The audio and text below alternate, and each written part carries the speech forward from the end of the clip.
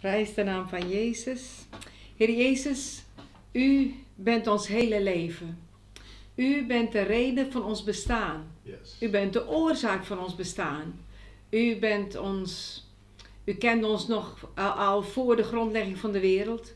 Nog voor de grondlegging van de wereld, nog voordat wij in de moederschoot waren, heeft u ons al gemaakt, heeft u ons al gekend. Voor, en u heeft ook onze toekomst in uw hand. Daarom prijs ik uw naam en dank ik u dat niet alleen wetende dat u God, de Almachtige bent, maar ook nog eens dat u een goede God bent. U bent soeverein, u kunt doen wat u wilt.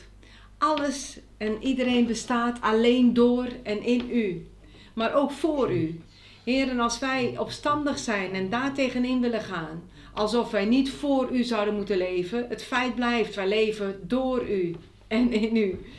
Ik dank u daarom voor uw verlossingsplan. Ik dank u, Heer, dat u in, in deze wereld, met alle strijd die er is, met alle crisis die er zijn, met, met alle rebellie die er is, alle haat en nijd en hoe mensen, wat mensen elkaar aan kunnen doen, bent u nog steeds hier om ons, die, ons dat verlossingsplan voor te houden. Om ons de gelegenheid te geven, ons te bekeren tot u en te erkennen dat u alleen God bent. En dat willen wij hier vanaf deze plaats ook zeggen. Heer, we erkennen u als God. De enige, de waarachtige, de almachtige, goede God. Die vrede geeft, die liefde heeft en geeft.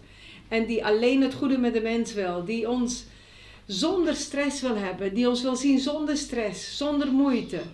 En zolang wij in u zijn, Heer, ik kan getuigen dat u mijn vrede bent. Dat u elke dag vrede bent. Midden in alle omstandigheden. Ongeacht welke omstandigheden.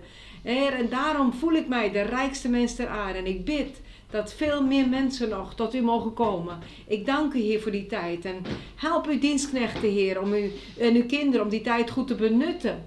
Die kans om mensen nog binnen te brengen in uw koninkrijk. Opdat ook zij mogen genieten van uw vrede, van uw liefde, van uw rust, van uw kracht, van uw aanwezigheid bovenal. Want dat is wat u ons als eerste gebod gaf. De Heer, uw God, liefhebben met heel ons hart, met heel onze ziel, met al onze kracht en heel ons verstand. En Heer, we kunnen u beter dienen door u meer te leren kennen. En daarom openen we dat woord weer vanavond. Duiken we in dat woord om u te zien. Want dat is ons verlangen, dat we u zien. Heer, we vragen u niet om rijkdom, om aardse rijkdommen. We vragen u niet om een man, vrouw, kind, wat dan ook van deze wereld. We vragen u, Heer, dat we u mogen kennen. Heer, open toch ieders hart, opdat we u willen kennen. En ik dank u dat u uzelf openbaart, ook vanavond in uw woord, in Jezus' naam. So, welcome everybody. Let's be open for the word of God. We're going to see God in his word. God that is almighty, that can do whatever he wants. He's a sovereign God and he chose to love us, to bless us, to heal us, to strengthen us. And above all, he told us the first commandment is uh, love the Lord your God with all your heart, with all your soul, your love, your strength, Jesus. and your mind. So let's get to know God more in His Word tonight. And I pray that you will long more than ever, more, not for earthly wealth, not for earthly things, not even a wife, a husband, a child, eh, or earthly goods, but that you uh, desire more than anything to be in the presence of God and to know Him. So let's see, let's see God, let's look at God and look at His wisdom and His love in His Word tonight. So in Jesus' name, we bless you by the Word of God. Amen.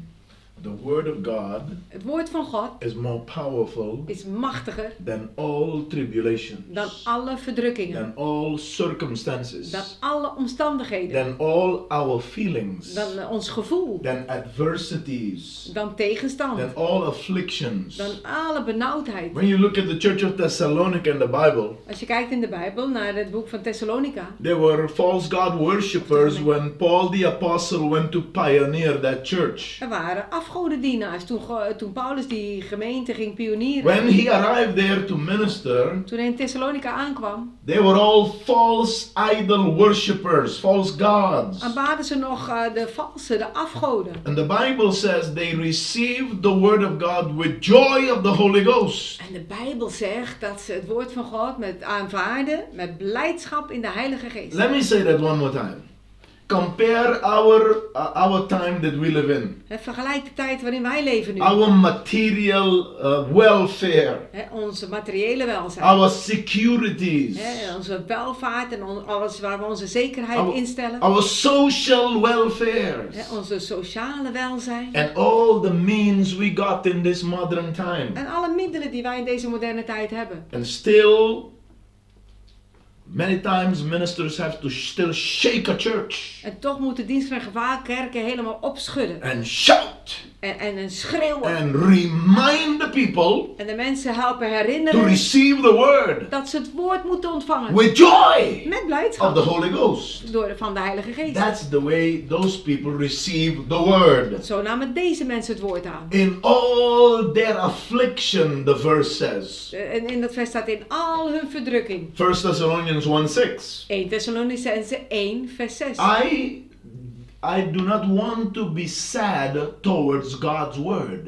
Ik wil niet droevig zijn tegenover Gods woord. It's the most powerful treasure on the planet. Het is de grootste schat van de wereld. The best food, Het beste voedsel. the best nutrition. Hè, de beste voedingsstoffen. It is more precious than all treasures. Het is kostbaarder dan alle schatten. That's why uh, David said in Psalm 119, verse 162, Daar zei uh, psalmist David in Psalm 119 vers 162. he said, I rejoice in the word of Hij God zei, ik verheug me in het woord van as God. one who has found greater treasure. Als iemand die een grote schat heeft gevonden. Look at the conditions of, look at the condition of the world right now. Kijk naar de conditie van de wereld op dit moment. Perplexity, Hè, De mensen staan perplex. stress, Er is stress.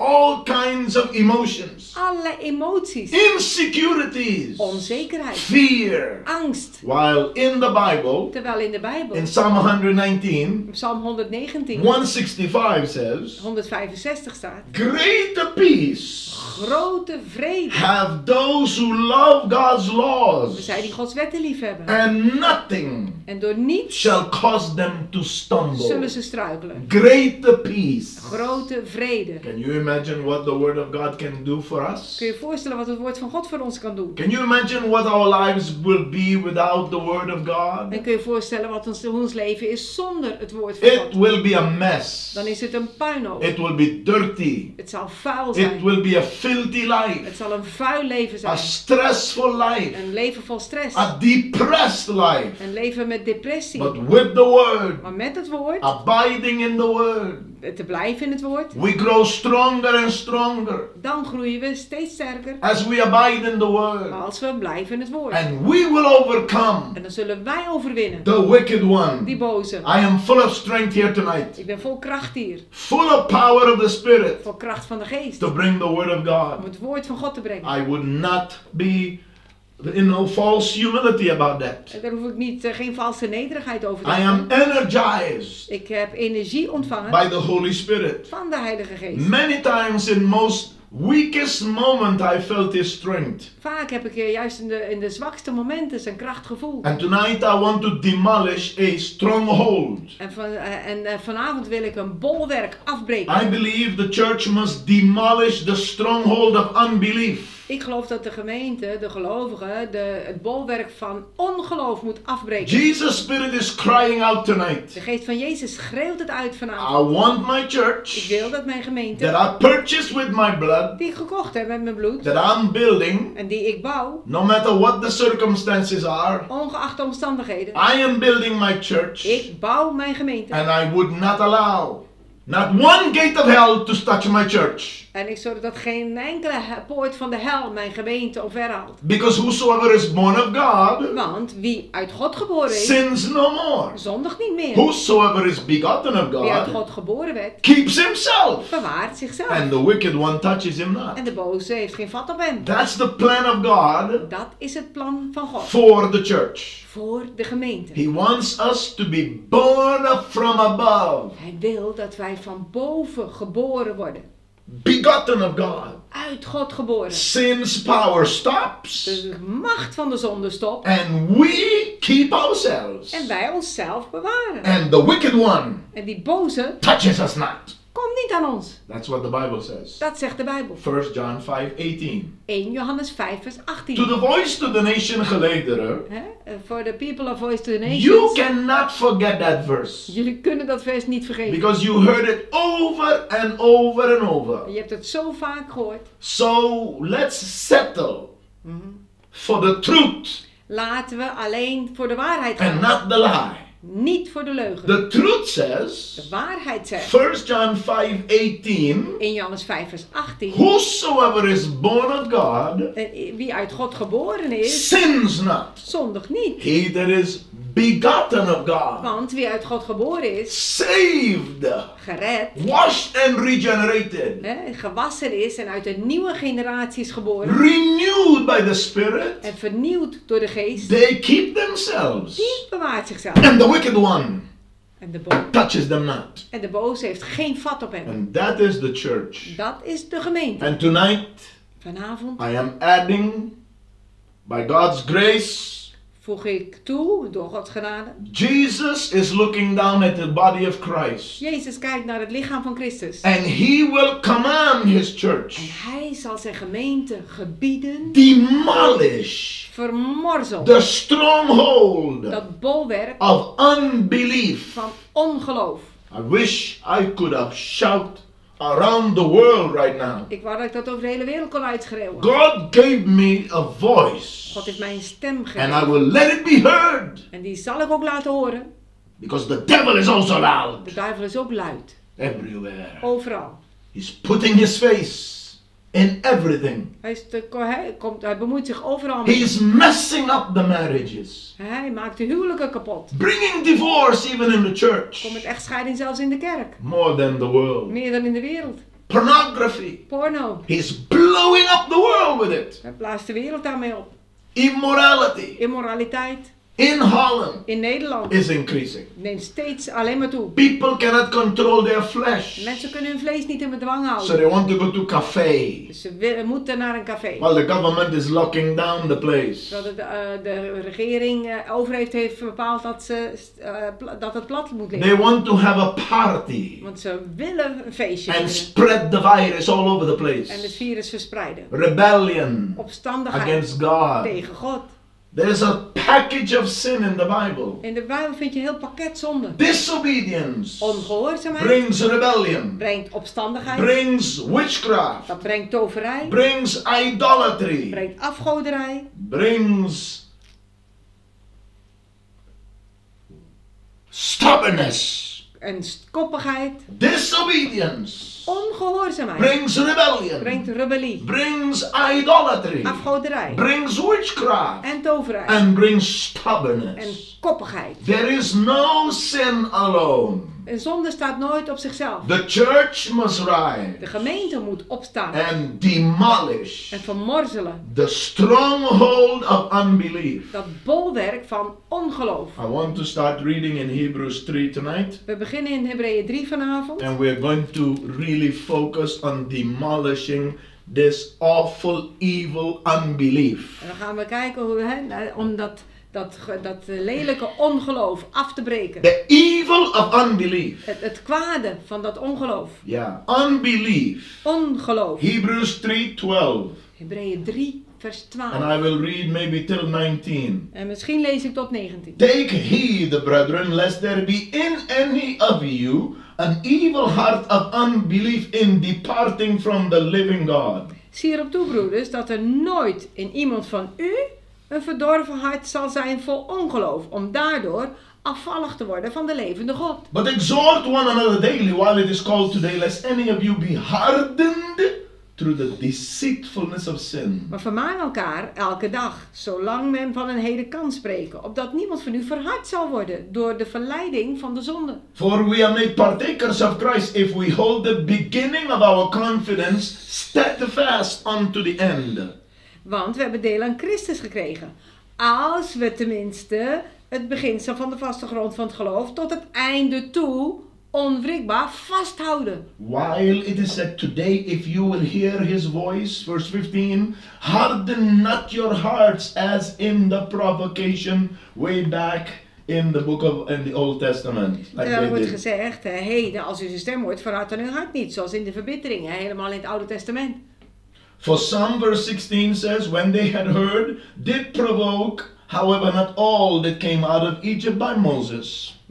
Want hoewel sommigen die stem gehoord hadden, hebben ze hem verbitterd. Maar niet allen die onder leiding van Mozes uit Egypte waren weggetrokken. 17th verse, but with who was God grieved for 40 long years? Was it not with them that had sinned, whose carcasses fell back then in the wilderness where God killed them?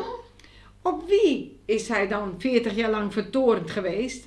Was het niet op hen die gezondigd hadden, van wie de lichamen gevallen zijn in de woestijn? You see, I want to stop here. Look, now I'm reading certain scriptures here. Ik lees hier bepaalde Now, schriftgedeelten. if people don't read their Bibles, Als mensen nu niet hun Bijbel lezen, how can they understand? hoe kunnen ze dan I begrijpen? will do my Ik best. zal mijn best doen. Because when you study the whole week Want als je de hele week studeert and you read and you read, en je leest en leest, you have the tendency dan heb je de neiging to come and give it all. om, het, ah, om alles te I geven. cannot speak for other preachers. Ik kan niet spreken voor andere But when predikers. I come to a pulpit, Als ik naar een kansel ga, it's like I'm coming with a very big meal. is het alsof ik met een grote maaltijd aankom. And I want to give it En ik wil het uitdelen to feed the, pe- the people om mensen te voeden. with good nutrition Met goede so voedingsstoffen. that they can grow. Met goede voedingsstoffen, zodat ze kunnen groeien. But sad to say, Helaas. many are neglecting the Bible. Veel mensen verwaarlozen de Bijbel. And then when you read a verse like verse 17 here, Als je dan zo'n vers leest, zoals hier vers 17. but with who was he grieved 40 years? Op wie is hij dan 40 jaar lang zo boos geweest? That God was grieved for 40 long years over his own people Israel. 40 jaar lang was God boos over op zijn eigen volk. Because they sinned back then Omdat ze toen zondigden. in their unbelief. Met hun ongeloof. And their carcasses fell in the wilderness. Hun lichamen zijn gevallen in de woestijn. Verse 18 18. and 19, and then I, I go on. And to who swear God that they should not enter into his rest, but to them that believed not? Aan wie heeft hij gezworen dat ze zijn rust niet zouden binnengaan dan aan hen die ongehoorzaam, of het Engels staat, die, met, eh, die niet geloofden. Verse 19, so we see, so we as Christians today, we see, is translate that quickly, In vers 19 dan, zo zien wij, dus wij vandaag als christenen, wij zien that they, Israel, dat zij, Israël, could not enter into God's rest niet konden ingaan in die rust van God. or his privileges, Of in zijn voorrechten, his zijn blessings, zegeningen, because of unbelief. vanwege hun ongeloof. The unbelief had shut them out. Door het ongeloof konden ze niet binnengaan. You see? The unbelief is so dangerous. Ongeloof is gevaarlijk. I want to even feel the very emotions, the angry emotions against this most dangerous sin. Ik wil zelfs die emoties, hè, deze boze gevoelens zelfs, eh, zelfs voelen tegen deze gevaarlijke zonde. I want fire to come out of my being against this evil sin of unbelief. Deze eh, slechte zonde van ongeloof, daar wil ik, ik wil gewoon dat er een vuur uit me komt tegen Sin zonde. is sin, Zonde is zonde, but unbelief maar ongeloof is the chiefest of all is sin. de grootste van alle zonden. Yeah. So I want us to understand Zodat we goed begrijpen, the word unbelief, het woordje ongeloof the original Greek, in het originele Grieks, apistia, apistia, not believing. niet geloven. It's a lack of faith Het is een gebrek aan geloof and or un- you are unfaithful. of je bent ontrouw. Unfaithfulness. Ontrouw zijn.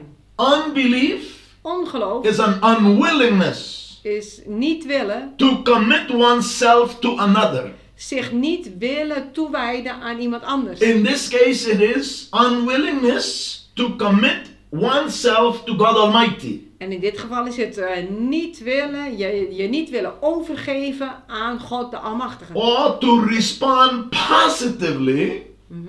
To someone else's word or actions. Of positief te reageren hè, op iemand- op iemands woorden of op iemands daden. In this In case, dit geval it is our unwillingness to respond positively En in dit geval is het onze onbereidwilligheid eh, positief te beantwoorden. to God's words Hè, te reageren op Gods woorden. and God's actions. En Gods daden. Think about it. Denk daar maar eens over I na. want to go back to Hebrews 3:12 now. Nu ga ik terug naar Hebreeën 3 vers 12. I'm walking on something here up right again.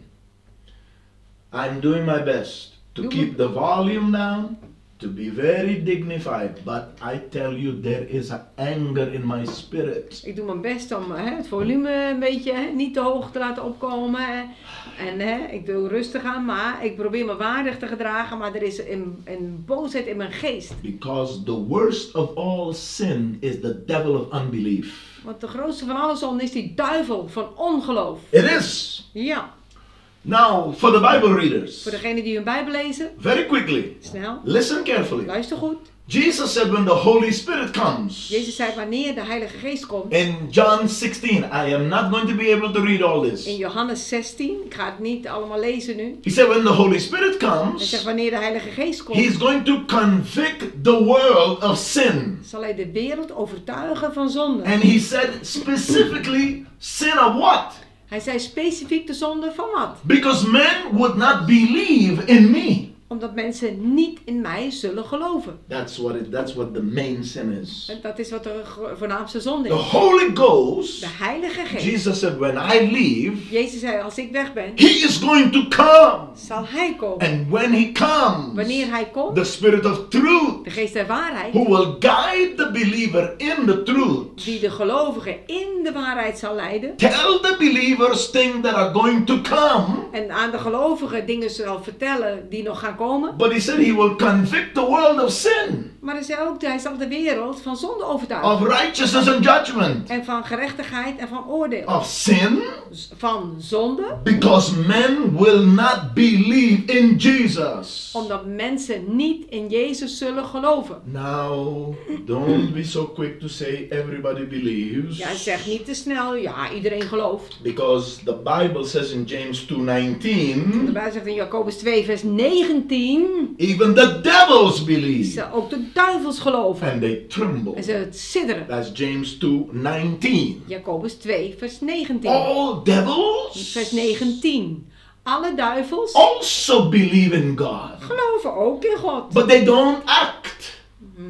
They don't respond Ze handelen niet. in obedience Ze doen er niet iets in gehoorzaamheid mee. to the word of God. Met dat woord van God. They tremble Ze sidderen wel. and they believe. En ze geloven. That's why we need to study what unbelief is Daarom moeten wij bestuderen wat ongeloof is. and what believe in God is En wat in God geloof is. and what faith is. En wat het geloof is. Obedience Gehoorzaamheid to God aan God. breaks the devil's power. Dat breekt de macht van de duivel. Obedience. Gehoorzaamheid.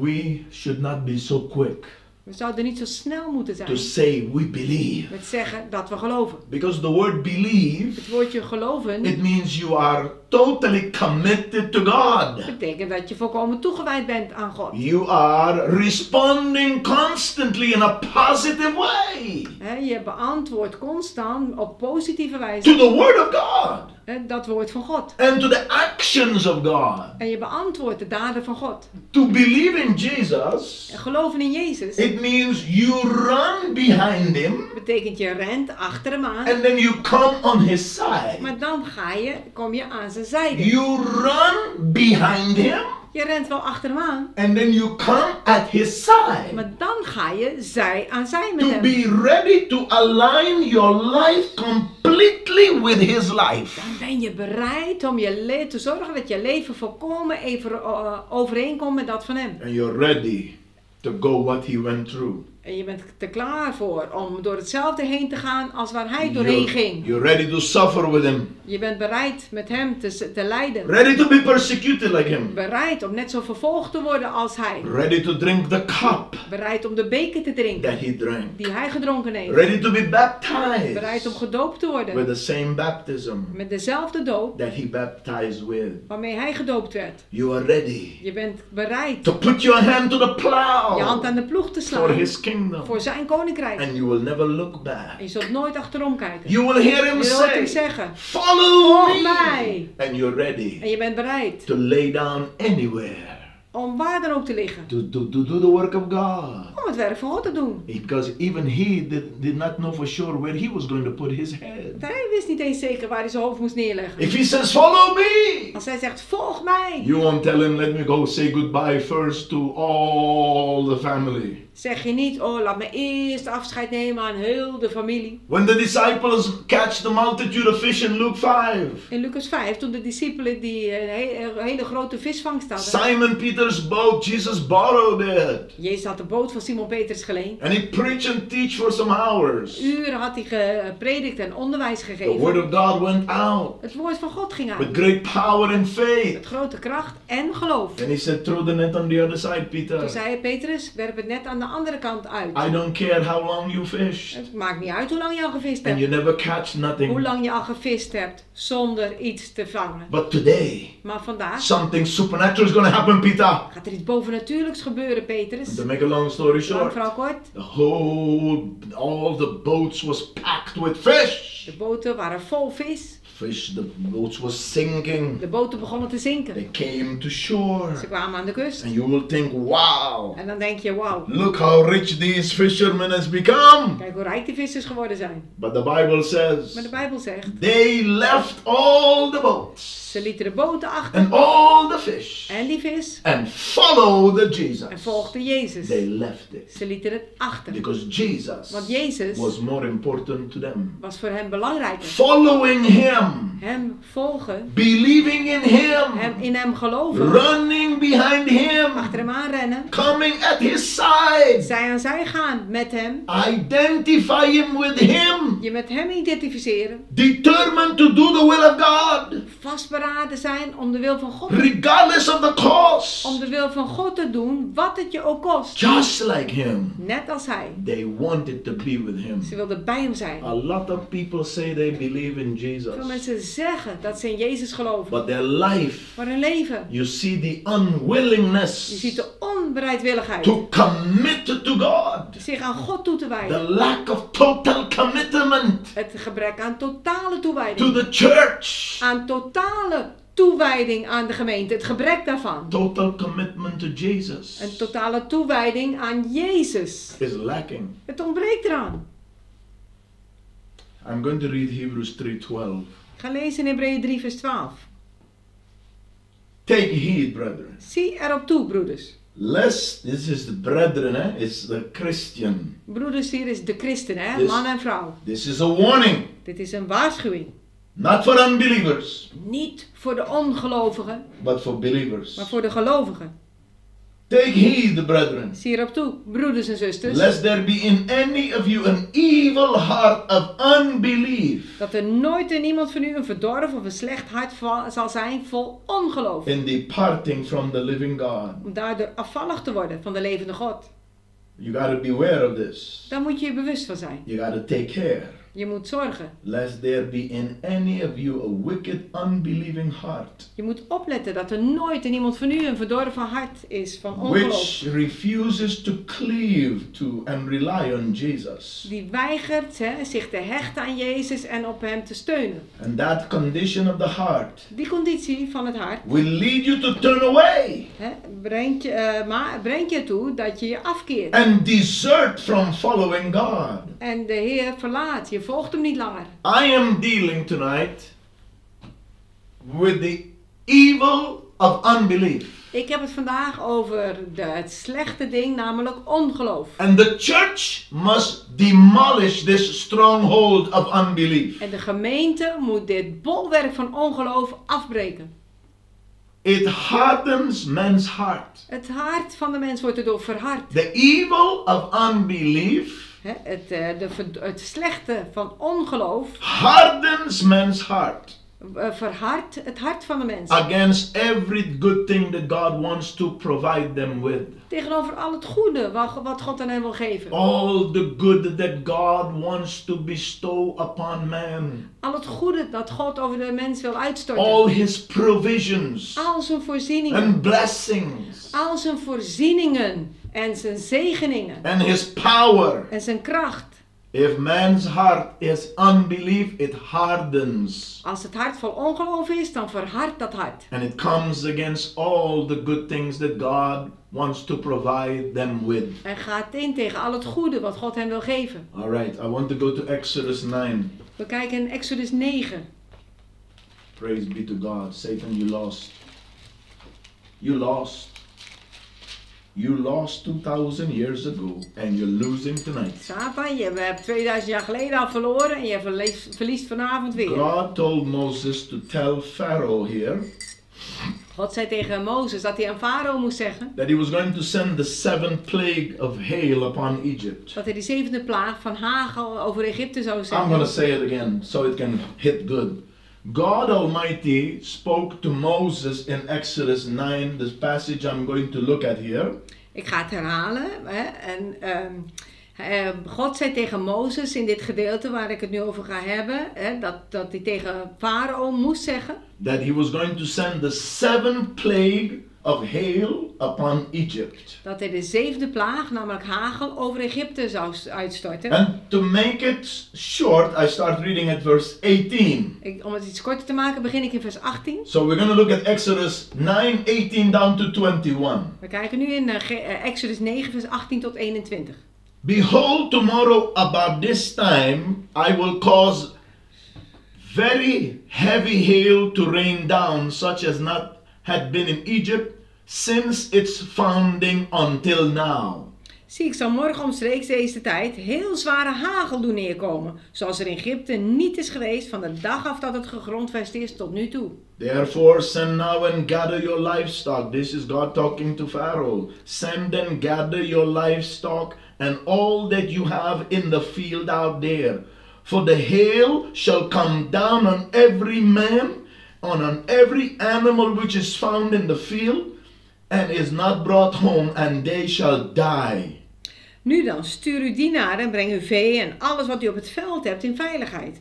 Nou, want al de mensen en de dieren die zich op het veld bevinden en niet in huis zijn eh, bijeengedreven, zullen sterven als de hagel op hen vallen zal. Oh, you know, this is a temptation to preach on all these things. Dit is een verleiding om hier nu over te gaan preken. Of how God sent all those plagues on Egypt. Van hoe God al die plagen over Egypte bracht. And not one of them came upon Israel. En geen daarvan kwam over Israël. Oh, I used to preach that thing Dat heb ik gepreekt in several in countries, verschillende landen, in several in churches, verschillende kerken. because I believe Want ik geloof that God did that. dat God dat gedaan I heeft. believe Ik geloof that God made a dat difference God onderscheid maakte between Egypt tussen Egypte and Israel. en Israël. His people. Zijn volk. A big difference. Groot verschil. And how was the difference? Hoe was dat verschil dan? He judged Egypt Hij kwam met zijn oordeel over Egypte. with ten plagues. Met tien plagen. And at the same time, Maar tegelijkertijd his people, was zijn volk Israel, Israël was free. vrij. Not one plague came near them. Geen van die plagen kwam bij hen. And today, in the New Testament, Vandaag in het Nieuwe Testament. how much more we should expect Hoe, eh, veel meer moeten wij nu vandaag in het Nieuwe Testament niet verwachten. that God will make a very big Dat difference God groot onderscheid zal maken between the world tussen de wereld with all its met bondages al zijn gebondenheid and sin en zonde between his people, the church. en zijn volk, de gemeente. Are you ready to believe that? Ben jij er klaar voor om dat te geloven? Do you know that God will do that? Weet jij dat God dat zal doen? He has to do it Dat moet hij wel. because he put the church here. Wat heeft de gemeente hier neergezet? He gave birth to the church Hij is eh, de gemeente begonnen. on the day of De dag Pentecost. van Pinksteren. He sent the Holy Spirit Hij zond de Heilige Geest. and fire En vuur. upon those Op disciples. die discipelen. They went everywhere preaching. Ze gingen overal heen om te preken. The church is the most successful organism on this earth. De gemeente is het meest succesvolle organisme op aarde. And God will once again En God zal opnieuw bring judgment on this world met zijn oordeel over deze wereld in, komen. in various Op ways. verschillende And manieren. at the same time, Maar tegelijkertijd He'll separate His people, the church, zal hij zijn volk, de gemeente, apart zetten. to be the special people, Als dat bijzondere to volk, be the holy generation, als dat heilige, als die heilige the generatie, royal priesthood, als die heilige generatie, dat geslacht, dat de, de koninklijke a priesterschap, peculiar people. Een bijzonder volk, that are completely out of die darkness compleet uit de duisternis zijn, into His marvelous in light. zijn wonderbaar licht. And their entire life Hun hele leven is a message is een boodschap. declaring to the world En verkondigt aan de wereld the excellencies de grote daden of their God van hun God. who took them out of darkness uit de duisternis gehaald and heeft. brought them into his marvelous En hen light. in zijn wonderbaar licht gebracht heeft. Can you imagine here in Exodus 9 Kun je je voorstellen, hier in Exodus 9, where God is telling, uh, God told Moses, You go tell Pharaoh, waar God tegen Mozes zei, ga jij nou maar tegen Farao zeggen, I'm going to send the seventh plague of hail upon Egypt. ik zend eh, die zevende plaag, de hagel over Egypte. And God gave Pharaoh a chance in verse 19. En God gaf Farao een kans in vers 19. And I'm going to read it again. Ik ga het nog een keer lezen. Therefore, send now and gather your livestock and all that you have in the field. For the hail is going to come down on every man and every animal which is found in the field and is not brought home, they shall die. He's giving him instruction. Nu dan, sturen die naar de breng uw vee en alles wat u hebt op het veld in veiligheid. Hè, alle mensen en de dieren die zich wel op het veld bevinden en niet in huis zijn meegedreven, zullen sterven als de hagel op hen vallen zal. Zie jij, geeft ze een kans. Now, watch verse 20. He gives Pharaoh a chance. Hij geeft Farao, ja, een kans. Verse 20, watch verse 20. Vers 20. He who feared the word of the Lord among the servants of Pharaoh made his servants and his livestock flee to the houses. Zie je, wie van de dienaren van Farao het woord van de Heer vreesde, die liet zijn slaven en zijn vee de huizen in vluchten. So God, in His mercy, In, in zijn barmhartigheid looked at the, the, the servants of Pharaoh keek God naar de slaven of de dienaren van Farao, who feared the word of God. die het woord van de Heer vreesden. They responded Zij deden daar iets mee. in obedience In gehoorzaamheid. with, with faith. In geloof. they believed Zij geloofden that God was going to send that plague. dat God die eh, plaag ook zou zenden. The servants of Pharaoh believed it. De dienaren van Farao geloofden het wel. And it says they feared the word of the Lord. Er staat, ze vreesden het woord van de Heer. The word that God spoke. Het woord dat God sprak. They respected it. Hadden ze respect voor. They trembled for it. Daar beefden ze voor. And they believed. Ze geloofden. They had no unbelief. Ze hadden geen ongeloof. They believed Ze hadden geen ongeloof. Zij geloofden that God was going to pour out hail on Egypt. dat God de hagel over Egypte zou uitstorten. So they moved in action. Dus zij kwamen in actie. They responded Zij deden iets positively positief to the words of God met de woorden van God. in action. In actie. And they took their livestock to the houses. En ze brachten hun vee binnen. Verse 21 says, Vers 21 zegt. But he who did not regard the word of the Lord Maar wie het woord van de Heer niet ter harte nam, left his servants and his livestock in the liet field. zijn slaven zijn vee op het veld. And the disaster came. En de ramp kwam. And you read the further of that because I'm not going to stay there. En dat kun je zelf verder lezen, want daar blijf ik nu It niet. says clearly in verse 21 In 21 staat duidelijk. He who did not regard the word of the Lord Wie geen acht sloeg op het woord van de Heer, he who did not believe, wie niet geloofde, he who had unbelief, ongeloof had, hardened their hearts, zijn hart verhardde and was not able to experience the provision of God. had ook helemaal niets aan de voorzieningen van God. So the plague came. Dus de plaag kwam. You know what? I'm going to read verse 22 also. Weet je, ik ga vers 22 ook The lezen. Lord said to Moses, zei hij tegen Mozes, Stretch out your hand toward heaven that there may be hail in all the land of Egypt, upon man and upon beast and upon every herb of the field throughout the land of Egypt. strek je hand naar de hemel en er zal in heel het land Egypte hagel vallen. Op mensen, dieren, op al het veldgewas in het land Egypte. 23rd. And Moses stretched forth his rod toward heaven. And the Lord sent thunder and hail, and the fire ran along upon the ground, and the Lord rained hail upon the land of Egypt. Toen strekte Mozes zijn staf naar de hemel en de Heer gaf donder en hagel. Vuur schoot naar de aarde en de Heer eh, liet hagel neerkomen op het land Egypte. So, verse 24 So there was hail and fire mingled with the hail, very grievous, such as was none like it in all the land of Egypt, since it became a nation. 24. Er viel hagel en er flitste vuur te midden van de hagel. Een zeer zware bui.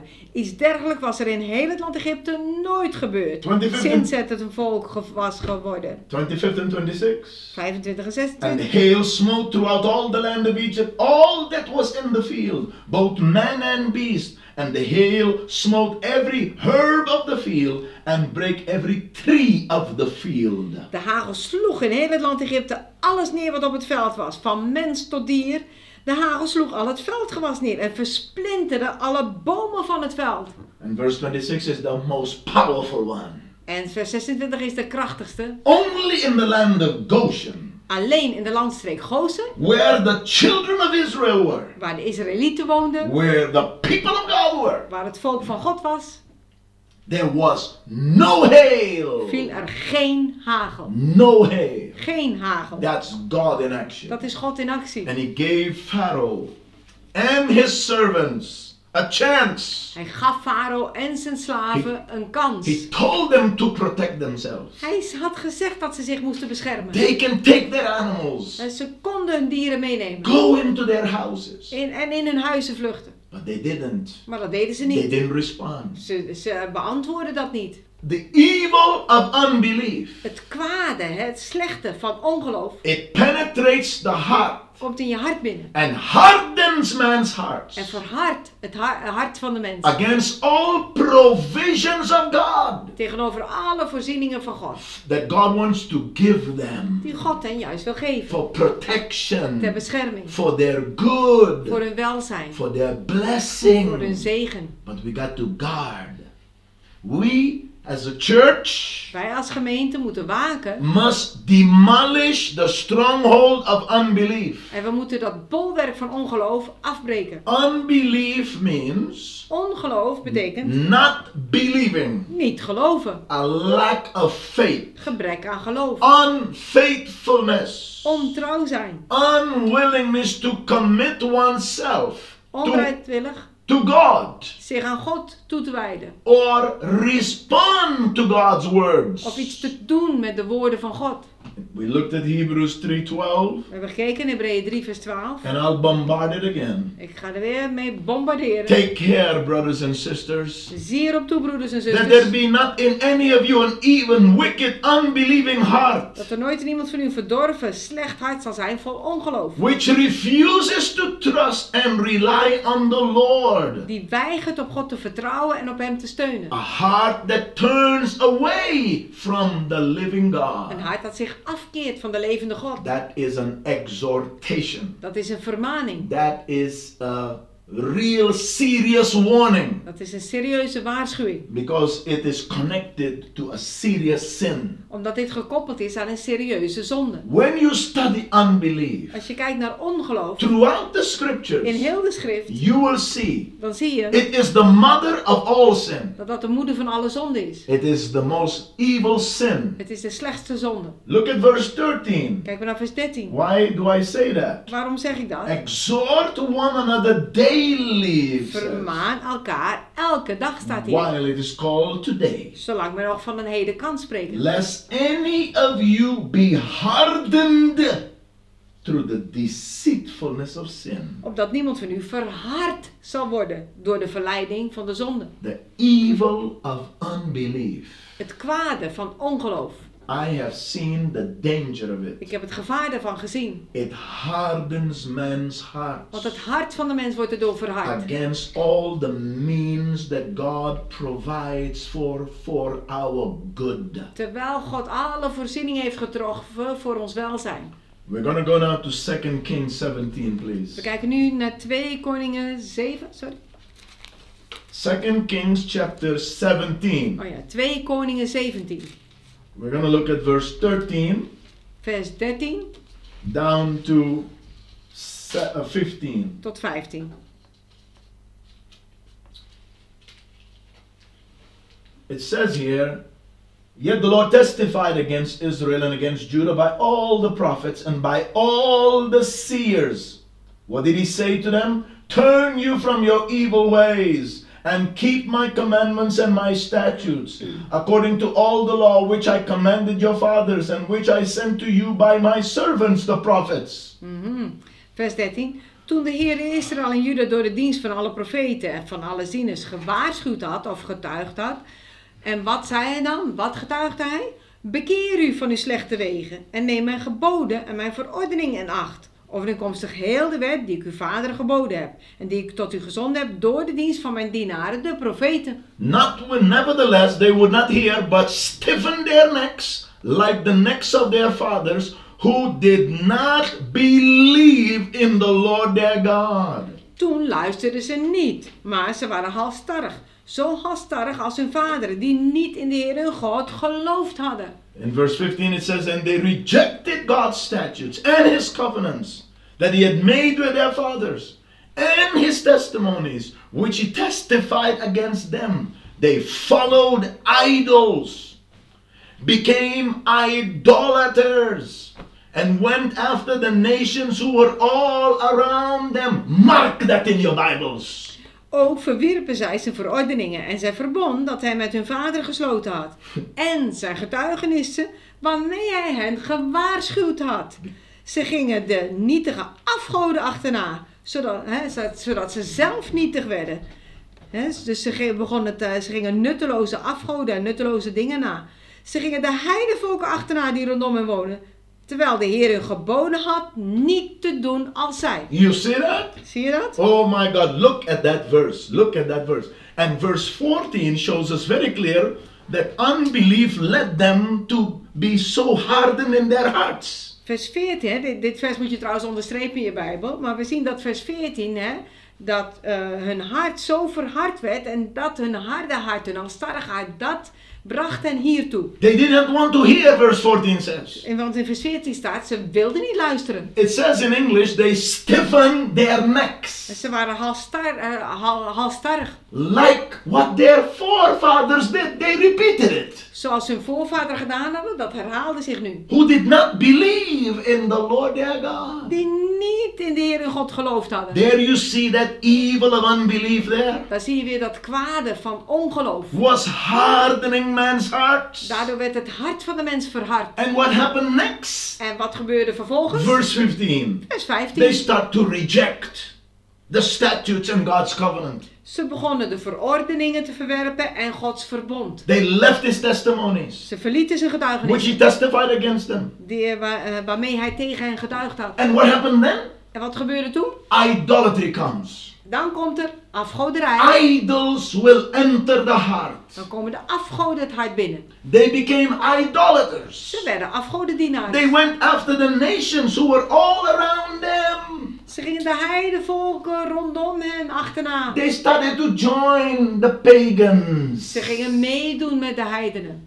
concerning who the Lord had charged them that they should not be like them in no area at all. Terwijl de Heer hen geboden had niet te doen als zij, op geen enkel gebied.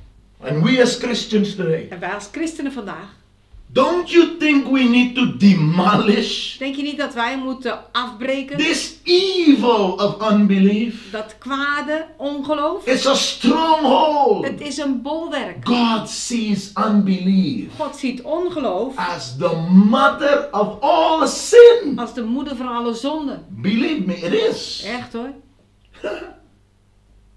And when unbelief comes, En wanneer ongeloof komt, hardens man's heart. dan wordt het hart van de mens daardoor verhard. And man locks himself out of all the provisions of God. En sluit de mens zichzelf buiten alle voorzieningen van God. Look at this. Look at verse 15 here, yes? Kijk maar naar vers 15. Talk about preaching and teaching. Als het over preken en onderwijs I can preach and teach on this verse all night. dat kan je de hele avond hierover doen. Because this is happening today. Want dit gebeurt vandaag ook. When unbelief penetrates the heart, Wanneer ongeloof het hart binnenkomt, the departure from the living God will take place. dan zul je afvallen van de levende God. Rejection of the word comes. Je gaat het woord verwerpen. No longer wanting to hear nothing about the covenants of En je wilt God. niets meer horen over het verbond van God. No longer see the word so Je serious. ziet het woord niet langer serieus. And then the idols come in. En dan komen de afgoden binnen. Idols penetrate the heart. De afgoden komen het hart binnen. Home Huizen, pride, hoogmoed, fornication, hoererij, greediness, hebzucht, wife, vrouw, cars, auto's, my money, geld, my fish. mijn vissen. I, they became idolaters. Ze, ze werden afgodendienaars. And they joined the other nations En ze deden mee met de heidenvolken. who were all around them. Die overal rondom hen waren. Instead of them living a complete different life, In plaats dat hun leven helemaal anders was. instead of them being the salt and the In light, plaats van dat zij het zout en het licht waren. instead of their lives being total contrast In plaats dat hun leven in contrast zou zijn met dat van hen. to those wicked nations around Met dat them. van die goddeloze volken om hen heen. They were joining them. Nee, ze deden met hem mee. The Bible says De Bijbel zegt in Ephesians 5, in Efeze 5, verse 7 vers 7. Be not partakers, doe niet mee. Have no fellowship Ga niet om. with the unfruitful works of darkness. doe niet mee of heb geen gemeenschap met de onvruchtbare werken van de And, duisternis. and the Amplified Bible says, In de Amplified Bible I staat. think it's uh, uh, Ephesians 5, 7, 11 also erbij. Efeze 5, 7, 11. Let your life be completely in contrast Laat jouw leven helemaal in contrast zijn. to those wicked around you. Met, eh, die, met dat van de goddelozen om je heen. That your life may convict them of their sin. Opdat je leven hen overtuigt van hun zonde. That's what Jesus did Dat deed Jezus. with his life. Met zijn leven. In John, the Gospel of St. John, chapter 7, verse 7 says In Johannes 7, vers 7 staat.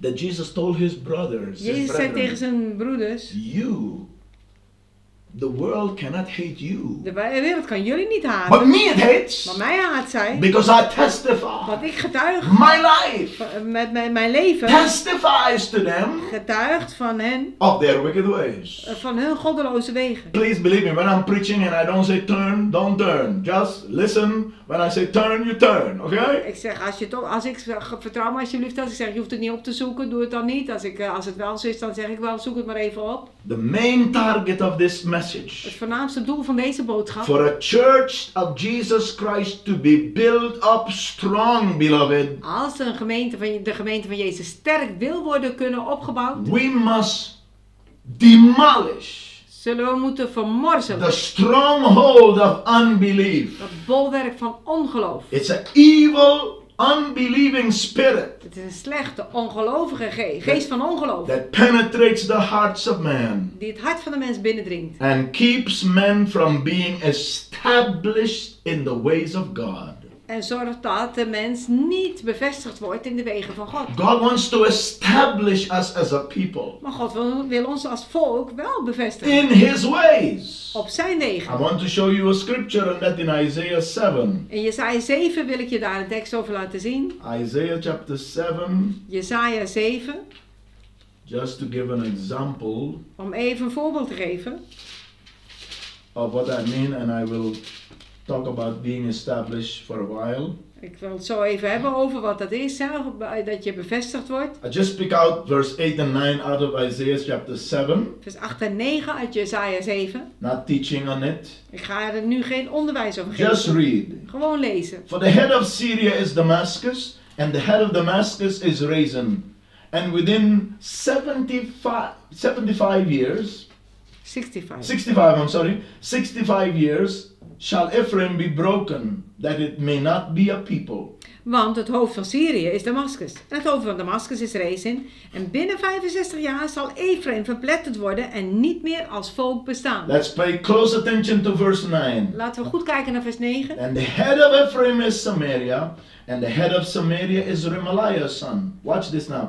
If Ondertussen you, zal Samaria het hoofd van Ephraim zijn en de zoon van Remalia het hoofd van Samaria. En let goed op het, wat er nu komt. Hè. if you will not believe, Indien u niet gelooft, you shall not be established. voorwaar u zult niet bevestigd worden. Unbelief Ongeloof keeps men from being established in the ways of God. maakt dat de mens niet bevestigd wordt in de wegen van God. That's very clear to me. Voor mij is dat duidelijk. The church must not only overcome, De gemeente moet niet alleen overwinnen, but demolish maar ook vermorzelen. the stronghold of unbelief. Dat bolwerk van ongeloof. If you keep coming, Als je blijft komen, you will hear more of this evil unbelief. dan zullen we meer horen over dit slechte ongeloof. That's the way we need to approach it. Zo moeten we dat benaderen. Because Paul said in Hebrews 3:12, Paulus zei in Hebreeën 3 vers 12. "Take heed the church. eh, zie erop toe, broer, gemeente, Take heed, brothers and broeders sisters, en zusters. lest there be in any of you. Dat er nooit in iemand van u. Don't say it cannot happen. En zegt niet, oh dat kan niet gebeuren. Guard for it. Daar moet je voor waken. Beware, Pas op. lest there be in any of us Dat er nooit in iemand van ons an evil heart een verdorven hart of unbelief van ongeloof. that makes us depart from the living God. dat maakt dat wij eh, de levende God verlaten. It keeps men from being established in the way of God. Het zorgt ervoor dat de mens niet bevestigd wordt in de wegen van God. Do you turn can turn to Second Chronicles now? Zullen we kijken in twee kronieken? I'm sorry, I'm going into a lot of Bible. Sorry, ik ga veel bijbelgedeeltes Church opzoeken. needs Bible. De kerk heeft bijbel nodig. The entire church needs more Bible. De hele gemeente heeft meer bijbel nodig. Not evangelistical milk Niet messages. alleen evangelisatie, melkboodschappen. Here in Second Chronicles 20, Hier in 2 Kronieken 20. this is the great story of King Jehoshaphat Dit is het geweldige verhaal van koning Jozefat. when three enemies was coming against him. En toen drie vijanden op hem afkwamen. Moab, Mount Seir and Ammon. Moab, Seir en Ammon. The Ammonites. De Ammonieten. They came to battle against Judah. Hè, trokken ten strijde tegen Juda. And Jehoshaphat was the king. Jozefat was koning. And to make a long story short, to pick out the context of this En message, om een lang verhaal kort te maken, om even de context uit, dit, uit deze boodschap te halen. we will go directly to verse 20 Kijken we meteen in vers 20 down to 23. tot 23.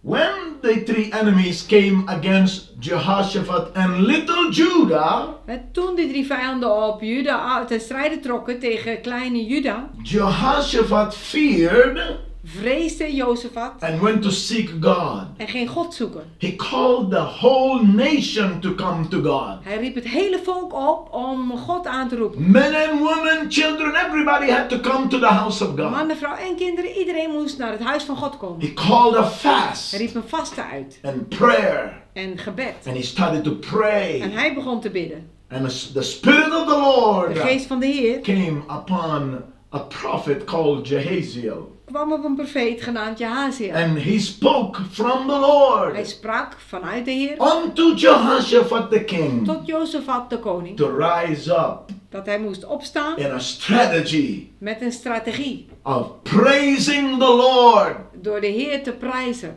to win the battle. om zo de strijd te winnen. Not with weapons. Niet met wapens. They won the war Ze wonnen de oorlog against three enemies tegen drie vijanden by singing. door zingen. Praise the Lord, for his mercy endures forever. Praise the Prijs de Lord. Heer, want zijn goede tierenheid duurt tot in eeuwigheid. Mm. Jehoshaphat Jozefat obeyed. was gehoorzaam. In verse 20, In vers 20. they rose early in the morning, S morgens vroeg stonden ze op. went into the wilderness of Tekoa, and as they went forth, Jehoshaphat stood and said, Hear me, O Judah, and you inhabitants of Jerusalem. Watch what he's told them now. Believe in the Lord your God.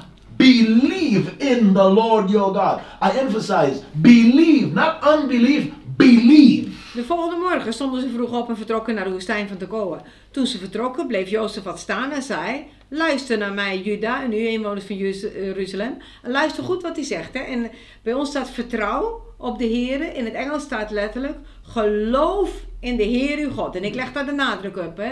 Geloof in de Heer uw God. Er staat niet ongeloof, maar geloof. Believe means jump and act. Dat betekent spring er bovenop en, en handel in geloof. Believe means responding immediately, positively to the Word of God. Dat betekent dat je onmiddellijk het woord van God positief beantwoordt. Believe in the Lord your God, he said. Hij zegt geloof in de Heer uw God. So you shall be established. Dan zult u stand houden of bevestigd worden. Unbelief keeps men from being established in the way of God. Ongeloof maakt dat de mens niet bevestigd kan worden eh, in de wegen van God. Of Ja. geen stand kan houden op die wegen. Jehoshaphat was seeking God for Judah. Jozefat zocht God voor Juda. Three enemies came, Drie vijanden kwamen op en af. and God was going to give him the victory. En God zou hem de overwinning geven. But this man had to cry out to the people of God. Maar deze man moest roepen tot het volk van God. And I feel I'm calling out to the people of God. En ik heb het gevoel dat ik het volk van God oproep. Believe in the Lord our God. Geloof in de Heer uw God. Against COVID 19, Tegenover COVID-19. against all sin Tegenover alle and zonde. every bondage Elke and gebondenheid. every weakness, Elke zwakte. every feeling, Elk gevoel. every bondage of our past, Alle gebondenheid van ons verleden. facing a future, Hè? Zie je een toekomst. a healing Een God. God die geneest. Our God is a healing God. Onze God is een God die geneest. He restored a drug addict Hij heeft een drugsverslaafde hersteld. and made me a man of God. Hij maakte van mij een man van God. He didn't spare his own Hij heeft son, zijn eigen zoon niet gespaard. but he willfully gave him up Maar heeft hem gegeven. for us all. Voor ons allen. Shall he not also, Zal hij ons niet met hem, with the Christ, met Christus, give us all things? alles geven? Jehoshaphat Jozefat had to charge the people of God. moest het volk van God bevelen. Believe Geloof. in the Lord your God. Vertrouw op de Heer uw God. Don't be like the devils. Wees niet als die duivels. Remember James 2:19? Weet je nog, Jacobus 2, vers 19? The devils also believe De duivels geloven ook. and tremble, En ze sidderen. but they never respond Maar ze doen nooit iets to God and His word. met, met God en zijn woord. All they do is believe and Het tremble. enige wat ze doen is wel geloven, maar sidderen. There is no action. Er is geen actie. Believing has action. Geloof heeft actie. It is faith Het is geloof. in, obedience. En met gehoorzaamheid. It is obedience of faith. Het is gehoorzaamheid in geloof. Obedience in faith. Gehoorzaamheid in geloof. Faith and obedience goes together. Geloof en gehoorzaamheid gaan samen. And that's where you demolish the stronghold of unbelief. En zo vermorzel je dat, dat eh, bolwerk van ongeloof. You make sure it's not in your heart. Je zorgt dat het in jouw hart niet And is. you never will depart from the living En jij God. zult nooit de levende God verlaten. And He will establish you Hij zal jou bevestigen in His ways. op zijn wegen. Believe, He said, Geloof, zegt hij. Jehoshaphat in verse 20. Jozefat, vers 20. Believe in the Lord your God. Geloof in de Heer uw God. And I will cry out to you tonight. En ik zal roepen Believe in the Lord your. God. Geloof jij ook in de Heer je God? Believe in a supernatural God Geloof in een bovennatuurlijke God. that knows no limit, Die geen grenzen kent. That cannot be blamed for nothing. En die je van niets kan beschuldigen. Poribilamando. So you shall be established. Zo, dan, zo, dan zult u stand houden. God told Israel God zei tegen Israël in Deuteronomy 28, in Deuteronomium 28, in that great chapter of blessing and in dat curses. geweldige hoofdstuk over zegen en vloek. Read it Lees het maar, from verse 1. vanaf vers He 1. told Israel, Hij zei tegen Israël, If you obey my commandments, als je gehoorzaam bent walk in aan, my ways, aan mijn geboden en wandelt in mijn wegen, I will exalt you dan zal ik je verhogen. above all the nations of the earth. Boven alle volken van de aarde. And all these blessings. En al deze zegeningen shall run after you zullen je achterna komen and overtake en you. je inhalen. And then he mentioned the greatest blessing in Deuteronomy 28. En dan noemt hij de grootste zegen in Deuteronomium 28. I have preached this many Ik heb dit times vaak al gepreekt. because I have heard so much Ik heb zoveel gehoord, of preaching in that chapter eh, horen preken over dat hoofdstuk. about we are the head and not the Wij tail. zijn de kop en niet de staart. We are the above and not the Wij zijn de beneath. boven en niet de beneden. And I wonder why nobody, why did, why did I not hear so much above verse 8, uh, 9 and 10? En ik vroeg me af, waarom hoor ik niet zo vaak noemen vers 9 en 10? It says there Daar staat that God said to Israel, dat God tegen Israël zei. and I will establish you En ik zal je as a bevestigen holy people tot een heilig volk unto myself. voor mijzelf. Isn't that what it says? Ja? And all the people of the earth En alle volken van de aarde shall see zullen zien on you, Israel, aan jullie Israël that you are called dat de naam van de Heer by the name of the Lord. over jullie is uitgeroepen. All the earth shall see.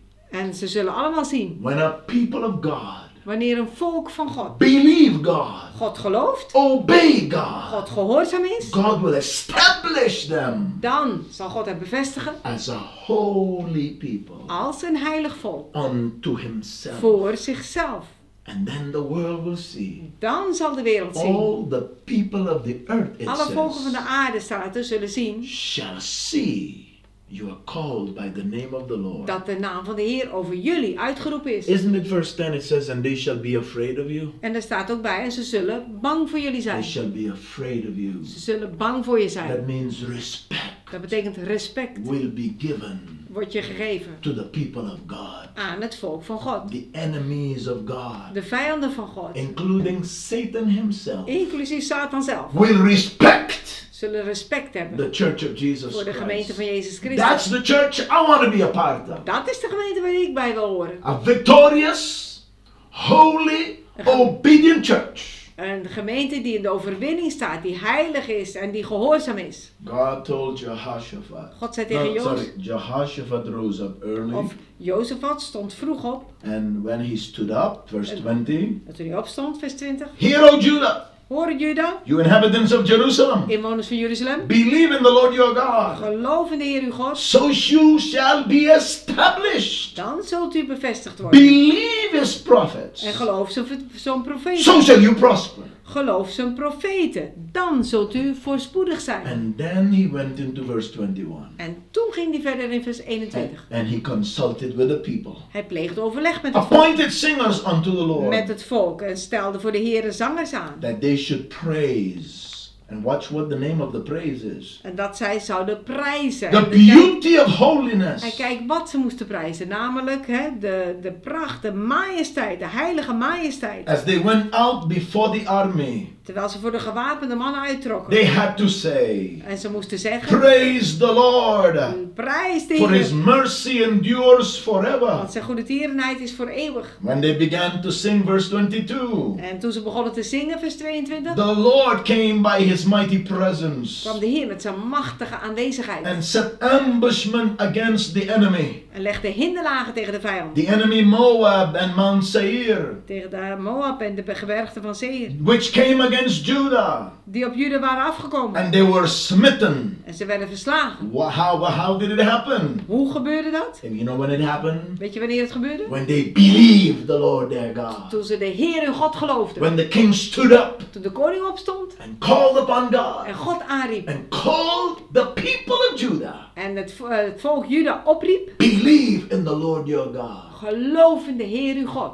You will be Dan established. zul je bevestigd worden. You will be a holy people. Dan zul je een heilig volk zijn. And God will deal with your enemies. En God rekent zelf af met je vijanden. Believe his prophets. Geloof zijn profeten. Because the prophet spoke. Want de profeet sprak. Jahaziel. Jahaziel. The Spirit of the Lord came upon him in the congregation. De geest van God kwam op hem in de gemeente. And he spoke for God. Hij sprak voor God. And he gave instructions to King Hij gaf instructies aan koning Jozef. They had to believe that prophet Ze also, moesten die profeet ook geloven. so they can prosper. Zodat ze voorspoedig konden zijn. And from there the victory came. En van daaruit kwam de overwinning. From there they knew how to worship in the beauty of God's holiness. Van daaruit wisten ze hoe ze God moesten prijzen in de schoonheid van zijn heiligheid. And they went out before the army. En ze trokken voor het leger uit. And their weapon was En hun wapen was praising God. God prijzen. And when they sang, En toen, als ze, toen ze zongen, God came kwam God. and defeated the enemy. Hij versloeg hun vijanden. Verse 23 says, Vers For the 23. children of Ammon and Moab stood up against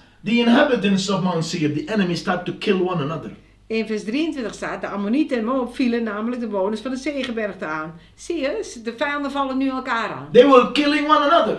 Ze maakten elkaar af. God dealt with the enemy that they were so confused and they started to fight one another and kill one another. God rekende af met de eh, vijand door zo'n verwarring te brengen dat ze elkaar, tegen elkaar begonnen te strijden. En ze maakten elkaar af. Utterly they slay and destroy them. Ja, ze sloegen hem met de ban en, ze, en door hem weg te vagen. When they made an end of the inhabitants of Seir, everyone helped to destroy one another. En zodra zij de bewoners van Seir hadden vernietigd, hielpen ze elkaar in het verderf.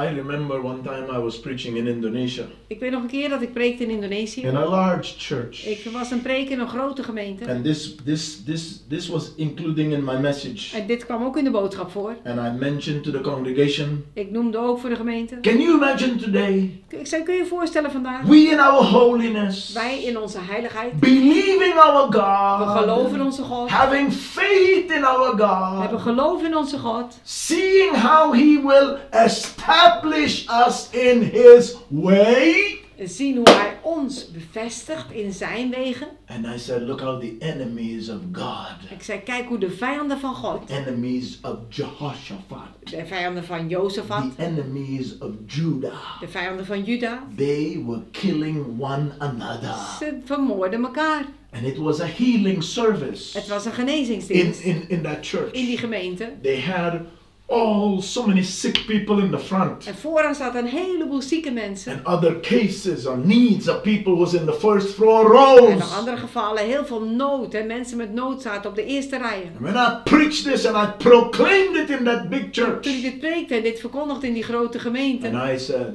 Zei, ik, zei, right now, ik zei op dit moment. devils are going to kill one another in this meeting. Ik zei duivels gaan elkaar afmaken in deze samenkomst. I was so bold, I said, cancer will kill asthma. Ik was zo vrijmoedig. Ik zei kanker zal astma vernietigen. Adultery will, will be destroyed. Overspel wordt vernietigd. God is destroying all the powers here today, I Ik said. zei God vernietigt alle machten hier vandaan. And faith came En er kwam geloof naar voren upon this preacher. op deze And prediker. I saw miracles in that En ik place. zag wonderen in die plaats. Unbelievable miracles. Ongelooflijke wonderen. I believe Ik geloof, that when Jehoshaphat toen Jozefat uh, ri- rose up opstond and he dealt with the people en hij ging met de mensen aan de slag. and tell them, believe in the Lord your God. En tegen hen zei, geloof in de Heer uw God. He was making sure he will pull down the stronghold of unbelief in that congregation. Hij zorgde dat het, hè, dat bolwerk van ongeloof in die gemeente neerhaalde. Because without that belief, Want zonder dat geloof nothing would have been happened. zou er niks gebeurd zijn. Because the evil of unbelief, Want die verdorvenheid, hè, dat slechte van ongeloof, it keeps men from being established maakt dat mensen niet bevestigd in worden. the way of God. Niet bevestigd worden in de wegen van God. And I call it tonight the evil of unbelief. Ik noem het het kwade van ongeloof. It makes men to reject also those who God sends to them. Dat maakt dat mensen ook degene die God naar hen toestuurt verwerpt. This is already three things I'm mentioning. Dat yeah? zijn al drie dingen die ik noem. Hè? What unbelief does. Wat ongeloof doet. I'm at the third now. Ik ben nu bij eh, de derde. Unbelief Ongeloof makes men to reject those who God sends. maakt dat mensen verwerpen degene die God juist stuurt. Turn with me to Matthew 21 now. Kijk maar naar Matthäus 21. Yeah, Matthew 21, just to give you two, two scriptures on this. Matthäus 21 om je even twee teksten hierover te geven. Matthew 21, 31 and 32. Vers 31 en 32. Unbelief makes men to reject those who God sends. Ongeloof maakt dat mensen verwerpen degene die God naar hen toestuurt. Here Jesus tells the chief priests and the elders, Hier zegt eh, eh, Jezus tegen de overpriesters en tegen de oudsten.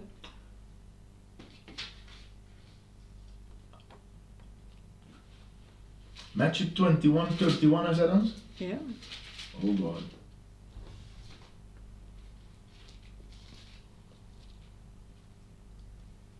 Thirty-one and thirty-two, yeah, yeah. It says here, um, whether two will, uh, whether of them two will he of his father? They say to him, Jesus said unto them, Verily I say unto you, the publicans and the harlots go into the kingdom of God before you.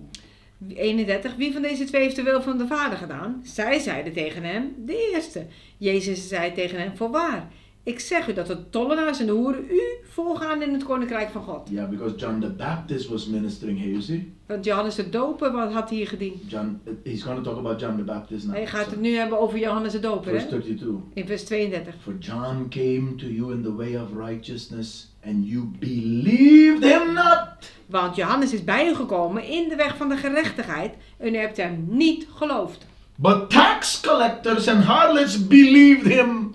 Maar de tollenaars en hoeren hebben hem wel geloofd. And when you saw it, En hoewel u dat zag, you did not afterward repent and believe him. hebt u hem later geen berouw gehad, zodat u ook, zodat ook u hem geloofde. That's what unbelief does. Dat is wat ongeloof doet. One of the strongholds of unbelief Even die bolwerken van ongeloof, that we need to pull die down wij moeten neerhalen, is that it it causes men to reject those who God is sending in their lives. is omdat ongeloof maakt dat mensen ook eh, degene verwerpen die God in hun leven gestuurd heeft. Yeah, to heal them. Om hen te genezen. God sends ministers. God zendt dienstknechten. God sent John the Baptist. God zond Johannes de Doper. They did not believe. Maar ze geloofden niet. But the tax collectors Maar de tollenaars and en de harlots hoeren believed him. geloofden hem wel. And when the chief priests and elders saw it, En toen de overpriesters en de oudsten dat zagen, it says in verse 32, er staat in 32, they did not repent ze bekeerden zich niet and believe. en, en geloofden. There are so many scriptures En er zijn zoveel schriftgedeelten where God sends servants dat God dienstknechten zendt with his word, met zijn woord, with a word of the Lord, met een woord van de Heer, with a teaching, met onderwijs, with their life into the church life. met hun leven in dat kerkleven. Let me show you another one. Ik zal er nog een laten zien. In 2 Timothy 2, In 2 Timotheus 2, verse 24 vers 24 to 26. tot 26. Unbelief Ongeloof is such an evil manifestation is zo'n kwaadaardige manifestatie that the church has to be free from. waar de gemeente juist vrij van moet zijn. Hallelujah. But the Bible says in 2 Timothy 2 24 to De 26, Bijbel zegt in 2 Timotheus 2, vers 24 En- tot 26. and I will say it again Ik zal het nog een keer zeggen. the evil of unbelief. Het kwaadaardige van ongeloof It will rise up in man zal in de mens naar boven halen and make them to reject en, waardoor, en maakt dat ze verwerpen those who God sends in their lives diegene die de Heer juist zendt in hun leven. to heal them, Om hen te genezen. to deliver them. Hè, die God zendt om hen te bevrijden. It says, The servant of the Lord must not strive, but be gentle unto all men, able to teach and patient.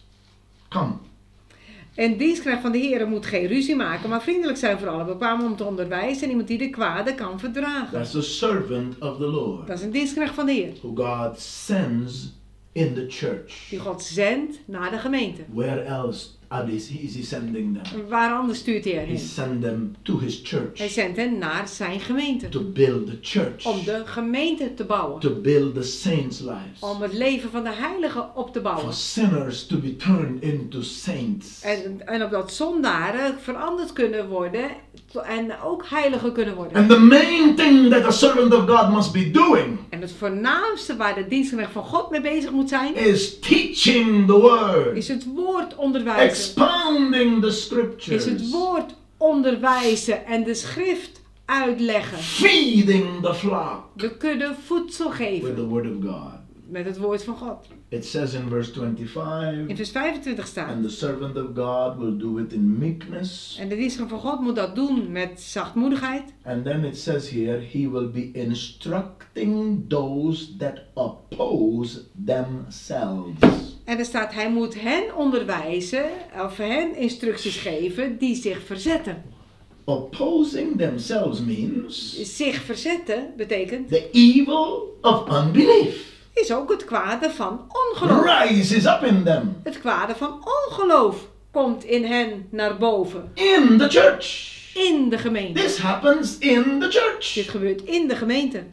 That men will rise up Dat mensen in opstand komen and reject the man of God, en de man van God verwerpen. who God gives them in their lives De man van God die God in hun leven brengt. to teach them Om hen te the onderwijzen. word of God. Namelijk het woord van God. And the Bible says that unbelief En de Bijbel zegt dat ongeloof will cause them to oppose themselves. maakt dat ze tegen zichzelf gaan dwars liggen. Because when you see, when you reject those who God sends, Want eh, weet je, er staat ook hè, dat als jij degene die God zendt afwijst, you're not rejecting them. dan verwerp je niet hen, You're rejecting God, maar je verwerpt God. but you're damaging yourself. En, maar je beschadigt jezelf. Ja. Look what happened when Israel wanted Saul to be the king. Kijk wat er gebeurde toen Israël Saul als koning wilde. They no longer wanted the prophet Samuel. Ze wilden de profeet Samuel niet langer. They chose a king. Ze kozen voor een koning. We want a king. We willen een koning. Just like all the nations have a king. Net zoals al die andere volken ook een koning hebben. We want a monarchy We willen een monarchie. and not a theo, a theocracy over us. En geen theocratie over We ons. don't want God. We don't want who God sends We willen niet degene die God zendt. because Samuel was sent to Israel Want Samuel was naar Israël gezonden as a prophet, als een as a profeet. seer, Een ziener. to speak the Hij word, moest het woord spreken. to see in their Hij lives moest zien in hun leven. for their benefit. Voor hun welzijn. But they rejected it. Maar ze verwierpen dat. Read that in the Bible. Lees dat maar in de Bijbel. Yeah? Read that in the Bible in 1 Samuel 12. Read that in the Bible in 1 Samuel 12. Dat kun je lezen in 1 Samuel 12 in de Bijbel. And Samuel went to God. Samuel ging naar God. He said, What's going on here, zei, wat Lord? gebeurt er nu hier? These people are rejecting me. Deze mensen verwerpen mij. God said, No, God zei nee. they're not rejecting Ze you. verwerpen niet jou, They are rejecting me. maar mij. But they were damaging themselves. Maar ze beschadigden zichzelf. Exactly the same Dus precies hetzelfde. with this passage here. Met dit gedeelte. Unbelief Ongeloof will cause men maakt dat mensen to reject those who God sends into their lives. degene die God in hun leven zendt, verwerpt. with the ministry that they got to do in their lives. En ze verwerpen ook de bediening die, die deze mensen die gezonden worden in hun leven And komen they doen. keep back their healing. En ze houden hun eigen genezing terug. They're not damaging the messenger Ze beschadigen de boodschappen niet. or God, Of God, they're damaging themselves. maar zichzelf. I'm going to read this verse again. Ga dit vers nog een keer lezen. 2 Timothy 2:25. 2 Timotheüs 2 vers 25. The servant of God Een dienstknecht van God, in all meekness, met, met zachtmoedigheid, he will be instructing those that oppose themselves. This is King James I'm reading. zal instructies geven aan hen die zich verzetten. The opposing themselves. Ze verzetten zich. That's the unbelief. Dat is door ongeloof. Uh-huh. And they are not receiving the servant of God. En ze ontvangen de dienstknecht van God niet. They're not receiving the instruction. Ze ontvangen de instructies niet. They are rejecting it. Dat verwerpen ze.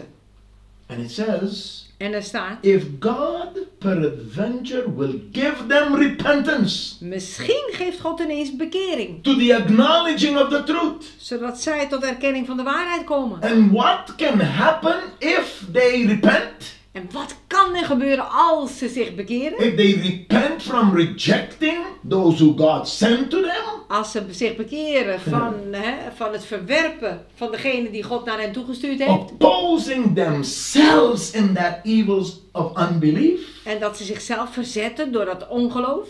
They, if they come to the knowledge of the truth, Als zij tot erkentenis van de waarheid komen. if they repent and say, Als ze zich bekeren en zeggen, I repent of this ik unbelief, bekeer me van dat ongeloof.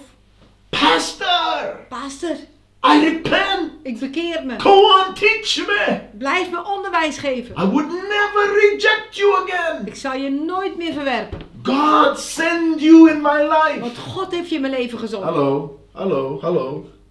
Hello, this is real.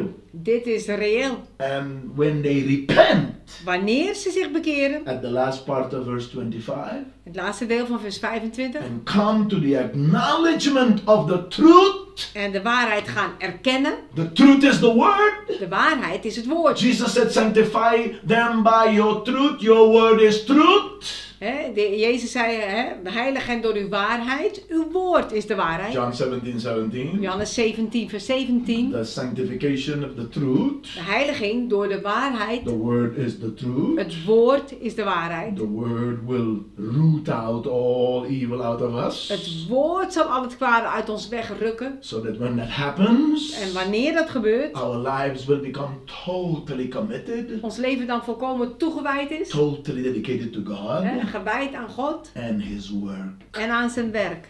When man repents Wanneer de mens zich bekeert in the church in de gemeente of the evil of unbelief, en zich bekeert van het kwade eh, van ongeloof, and they start to that that causes them to oppose themselves. Hè, dat ongeloof, dat maakt dat ze zich tegen zichzelf verzetten. by rejecting those who God sends to them. Door degene die God naar hen toe stuurt te verwerpen. If they come to repentance Als ze tot bekering komen and acknowledge the truth, en de waarheid erkennen, it says in verse 26 eh, staat in vers 26. that they may recover themselves Mhm. out of the snare of the devil Ja. who are uh, who are taken captive by the devil at his will.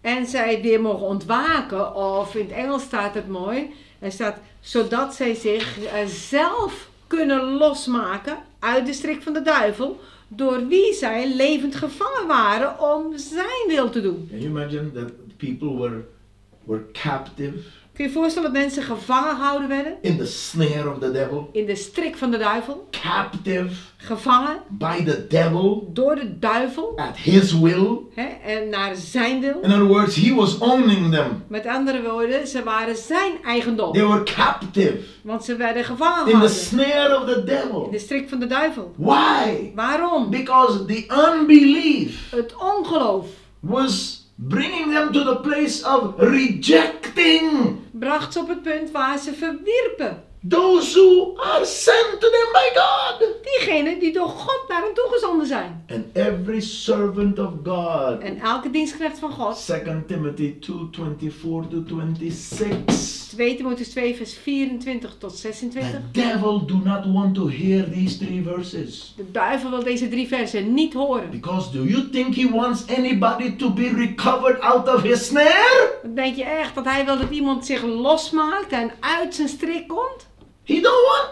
Dat wil hij niet. He don't want nobody to come to repentance Hij wil niet dat iemand tot bekering komt. and the acknowledgement of the truth En tot erkentenis van de waarheid komt. and receive those who God sends to them. En degene die God naar hen toestuurt wel ontvangt. He doesn't want it Dat wil hij niet. because he knows Omdat hij weet that when people repent of that unbelief dat wanneer mensen zich bekeren van dat ongeloof. and they receive the minister En and the message en ze de boodschappen en de boodschap aannemen. that drives out the evil out of them, Waardoor het kwade uit hen uitgedreven wordt. they themselves, the Bible says, De Bijbel zegt dat ze dan zichzelf will recover themselves kunnen losmaken. out of the snare of the devil. Uit die strik van de vijand. They'll be free, Dan zijn ze vrij. free to fly out of his hand Vrij om uit zijn handen te vliegen. And no longer captive En niet langer gevangen gehouden worden. at his will. En, en naar zijn wil. But they will spend the rest of their Dan lives zullen ze de rest van hun leven doing the will of de wil van God, God doen. no matter what it costs them. Wat het hen ook kost. I want to give my life Ik wil mijn leven geven to build. aan het bouwen. I have traveled. Ik heb gereisd, I, I exhausted myself. mezelf uitgeput. I have preached so much. Ik heb zoveel gepreekt. And sometimes I would have liked it to be more fruitful. En soms zou ik wel gewild hebben dat het nog vruchtbaarder was. But it was not dependent only on me. Maar het lag niet alleen aan mij. It was also dependent on other places where I've been Dat lag ook aan andere plaatsen waar ik geweest ben. and the the the hunger of people. En het ligt ook aan de honger van de mensen. But the rest of my life now, De rest van mijn leven I want to build wil ik bouwen. because I think the church Want ik denk dat de gemeente must be built up strong. sterk moet worden gebouwd. But no true church Maar een ware gemeente can be built up strong kan niet sterk worden gebouwd. until we demolish Mhm. all stronghold of unbelief. Totdat we elk bolwerk van ongeloof neerhalen en vermorzelen. Until we memorize a verse like Hebrews 3:12. Totdat we een vers als Hebreeën 3 vers 12 uit ons hoofd leren. Until we practice it. Tot we dat in praktijk brengen. Until we take heed En acht slaan as brothers and sisters in als, church. als broeders en zusters in de gemeente. Brethren, Broeders, the Hebrew author says. brethren is broeders en zusters, zegt de Take schrijver van de. Hebreeën. Hij zegt, zie erop toe, Beware pas op, lest there be in any of you dat er nooit in iemand van u an evil heart of unbelief een verdorven hart van ongeloof is. that causes us to depart from the living Die God. maakt dat we afwijken of afvallen van de levende God. And I keep calling it evil Ik noem het slecht noemen. Ik Because- blijf het slecht noemen. because the scripture says an evil heart of unbelief. Schrift is een kwaad of een verdorven hart van ongeloof. That's why I call it the evil of unbelief. Dan noem ik het het kwade, het slechte van ongeloof. The unwillingness De onbereidwilligheid to respond immediately to God's word onmiddellijk iets te doen met Gods woord. and to God's will. En, de wil, en met de wil van God. It's unfaithfulness. Het is ontrouw zijn. And that, when it enters the heart, Wanneer dat het hart binnenkomt, it makes men to reject maakt dat dat mensen verwerpen those who God sends. degene die God zendt. I'm going to give you some more scriptures now Ik zal je nog wat schriftgedeelte geven about how, how God sent, over hoe God zendt. especially Jesus, Vooral Jezus. and what the response was, En wat de reactie was. and the consequences. En met de gevolgen. We don't hear these preaching so much. Dit soort predikingen horen we niet We zoveel. need to look at it today. En daar moeten we vandaag goed naar kijken. Look at John chapter 5, Kijk maar in Johannes 5, from verse 37. vanaf vers 37. Kloparebian Soboni. Jesus says here, Jezus zegt hier, And the Father himself, which have sent me, has borne witness of me. See, the Father himself, which has sent me, has borne witness of me. hij zegt de vader die mij gezonden heeft, die heeft zelf van mij getuigd. Zie je wat er staat? De vader die mij gezonden heeft, die heeft zelf van mij getuigd. And he's talking here to the Jews. Heeft het hier tegen de Joden? You see? And he says, You have neither heard his voice at any time, nor seen his shape. En hij zegt, u hebt zijn stem nooit gehoord en ook zijn gedaante niet gezien. And you have not his word abiding in you, verse 28. For who he has sent, that's Jesus, him you believed not. En zijn woord hebt u niet blijvend in u, zegt hij, omdat, hè, waarom? Omdat u hem niet gelooft die hij gezonden heeft. 39. Search, he said, search the scriptures. You go ahead, search them. Hij zegt, onderzoek de schriften, ga je gang, onderzoek het maar. For in them you think you have eternal life. Want u denkt daardoor eeuwig leven te hebben. Hey, but realize, you Jews, Hé, maar besef wel, Joden, the scriptures de schriften, are they which testify of me. die zijn het die van mij getuigen. Verse 40. 40. And you will not come to me En toch wilt u niet tot mij komen, that you may have life. opdat u leven hebt. They were rejecting Ze verwierpen the coming of Jesus de komst van Jezus into their life. in hun leven. They were rejecting the scriptures Ze verwierpen de schriften, because they were searching it, want die onderzochten ze wel, but they did not believe in it. maar ze geloofden het niet. He said, You have not God's word abiding in you, Hij zegt, "Je- de woorden van God blijven niet in jullie, for He sent me, want Hij heeft mij gezonden. And you believe not. En jullie geloven niet. You go on and search the scriptures. Hè, ga je gang, onderzoek de schrift maar. You, they, they give eternal life. Hè, ze geven eeuwig, They eeuwig do leven. give eternal life, Die geven wel eeuwig leven, but you don't want me. Maar je wil mij niet. Because the scriptures, Jesus said in verse 29, Want de, je- de schriften, zegt Jezus in vers 39, are testifying of me. die getuigen van mij. And you will not come to me. En jullie willen niet tot mij komen. Verse 40, Vers 40. that you may have life. Opdat je leven hebt. So you're rejecting me. Dus je verwerpt mij. And God sent me. En God heeft mij, heeft mij gezonden. Beloved, Geliefde, Jesus Jezus was called and sent. was geroepen en gezonden. He was called and sent. Hij was geroepen en gezonden. Wait a minute, let me find something here. Don't turn nowhere yet, Hans.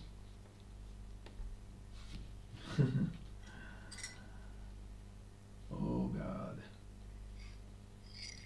No, it's okay. John chapter 12. Johannes 12. That's going to make it a long seminar now, so let me don't go there. Let's go to John chapter 12 now. Johannes 12. We look at how Jesus was sent We kijken naar hoe Jezus gezonden werd. and was rejected En werd verworpen by the evil of unbelief. door het kwade van het ongeloof. In John 12, verse 42, In Johannes 12 vers 42. watch this. Jesus was giving a message. Jezus gaf een boodschap. Jesus has done miracles. Jezus heeft wonderen In verse 37, sorry, I'm going to do this. In vers 37. Though he had done so many miracles before them, the Jews, yet they believed not on him. That's unbelief again. Vers 37. Hoewel hij zoveel wonderen en tekenen in hun bijzijn, in het bijzijn van de Joden gedaan had, geloofden ze niet in hem. Zie je? Weer ongeloof. And why and why did it happen? Waarom gebeurde dat? Verse 38. 38. That the saying of Isaiah the prophet might be fulfilled, which spake, Lord, who has believed our report? Who believed? To whom has the arm of the Lord been revealed? Opdat het woord van de profeet Jesaja vervuld werd dat hij gesproken heeft. Heren, wie heeft onze prediking geloofd? En aan wie is de arm van de Heer geopenbaard? Therefore, verse 39, they could not believe. Daarom konden ze niet geloven. Because Isaiah said again, Omdat Jesaja verder gezegd heeft, He has blinded their heeft eyes, hun ogen verblind, hardened their heart, hun hart verhard, that they should not see with their eyes, nor understand with their heart, and be converted, and I should heal them. opdat ze niet met de ogen zouden zien, met het hart inzien en zich bekeren en ik hen zal genezen. These things Isaiah said in verse uh, saw and spake of God. Dit zei Jesaja toen hij zijn heerlijkheid zag en over hem sprak. Watch what happens. Did you see verse 37 where Jesus healed so many miracles and they still did not believe on him? Did you see that? Heb je gezien vers 37 dat Jezus zoveel wonderen gedaan had? Had zoveel mensen genezen hè, en zoveel wonderen, maar ze geloofden niet in And you hem. know why they didn't believe? En weet je waarom ze niet geloofden? Because of the hardness of their heart. Vanwege de hardheid van hun hart. The hard, that's another thing that happens to the heart. Dat is nog iets wat met het hart gebeurt. When unbelief comes, Als ongeloof komt, it hardens the heart. dan wordt dat je hart verhard. It becomes like, you know, when they put the, uh, the, when kalos comes on you, Als er eelt komt, hè? yeah, or when the, when they put the, uh, the cast, you know, the Of cast, als, ja, als er gips om, eh, als je gips neemt, or kalos, the heart becomes so hard. of het wordt zo hard als eelt. And that's why they couldn't believe in the miracles. Daarom konden ze niet geloven in de wonderen. Unbelief, took over. Ongeloof nam het over. And after all that, En na dat alles, verse 42 says, staat in vers 42, Nevertheless, among the chief rulers, also many still believed on him. toch But because of the Pharisees, they did not confess him, lest they should be put out of the synagogue. En toch geloofden ook velen van de leiders in hem. Maar vanwege de fariseeën beleden ze het niet. Hè, opdat ze niet uit de synagoge geworpen zouden worden. You see, that's not the that's not the right way to believe, right there. Zie, dat is niet de goede manier van geloven. And we will be confronted with that today. En wij worden hier vandaag ook mee geconfronteerd. It's so easy to say, I believe, Makkelijk zeggen, ik geloof. I have faith. Ik heb geloof. You know, when you're not persecuted, Wanneer je niet vervolgd wordt. when there is no pressure, Wanneer je niet onder druk staat. when you're not out of your comfort zone. Wanneer je niet buiten je comfortzone bent. But when the persecution comes, Maar wanneer de vervolging komt. they believed, it says. Ze geloofden, staat hier. Look at verse 42. This thing grabs me. I'm Kijk, sorry. vers 42. Hé, dit raakt me. Many among the chief rulers still believed on Jesus. Toch geloofden ook velen van de leiders in hem. But when they think of the Pharisees, Maar als ze dachten aan de fariseeën. what's going to happen to us Oh, wat gaat er nou met ons gebeuren? if we really practice our belief? Als we ons geloof in praktijk brengen. Are we ready for this? Zijn we daar klaar voor? They did not confess Jesus, Zij beleden Jezus niet. Lest they should be put out of the synagogue. Dat ze niet uit de synagoge geworpen zouden worden. For verse 43, Want, vers 43. they love the praise of men more than the praise of God. Ze hadden de eer van de mensen meer lief dan de eer van God. So let's check our unbelief. Laten we kijken naar ons eigen ongeloof. Let's check our belief. En laten we kijken naar ons geloof. Check our faith En ons geloof in this hour. ja, in dit uur. And let's make sure tonight Laten we zorgen vanavond that we as a dat church wij als gemeente will demolish vermorzelen. the stronghold Dat- of unbelief. Bolwerk van ongeloof. Because real belief Want echt geloof would not care what happens to me. maakt niet uit. Kan er niks schelen wat er met me gebeurt. They did not confess him. Ze beleden hem niet. You know, Jesus said, He who confesses me Jezus zei wie mij beleidt before men, voor de mensen. him will I confess Hem zal ik beleiden before my voor Father. mijn vader. He who denies me Wie mij verloochent before men, voor mensen. I will deny him Die, die zal ik ook verloochenen before God. voor God. When Jesus asked Simon Peter in Matthew 16 ons, don't turn, Hmm. Toen, When Jezus, Jesus- toen Jezus vroeg aan Simon Petrus, who do men say that I am? wie zeggen de mensen dat ik ben? He asked his Hij disciples. vroeg zijn discipelen. It was a serious place Dat was een serieuze plaats. that Simon Peter rose up Dat Simon Petrus opstond and confessed openly, en in het openbaar beleed, You are the u Christ. bent de Christus. When John was on the island of Patmos, Toen Johannes op het eiland Patmos was, banned to die, Hè? Daar naartoe verbannen, om daar dood te gaan. Only wild animals on that island. Alleen maar wilde dieren op dat eiland. A rocky, lifeless island. Een rotsachtig, levenloos eiland. 90 years of age. 90 jaar oud. Served the Lord for years. Jaren de Heer gediend. He was there on that island Hij was daar op het eiland. for the Word of God Vanwege het woord van God. and for the testimony he had for Jesus En vanwege Christ. het getuigenis dat hij van Jezus had. He was the one that wrote that prayer of Jesus. Hij was degene die het gebed van Jezus had opgeschreven. In John 17. In Johannes 17. And he said in verse 14, In vers 14 zei hij. he wrote Jesus' Hij words schreef de woorden van Jezus op. where Jesus said, Waar Jezus zei. Father, I have given them your word. Vader, ik heb u uw woord And gegeven. the world has hated En de them wereld heeft hen gehaat. because they're not of the world, Omdat zij niet van de wereld zijn. even as I am not of the Gelijk ook world. ik niet van de wereld ben. And John lived that.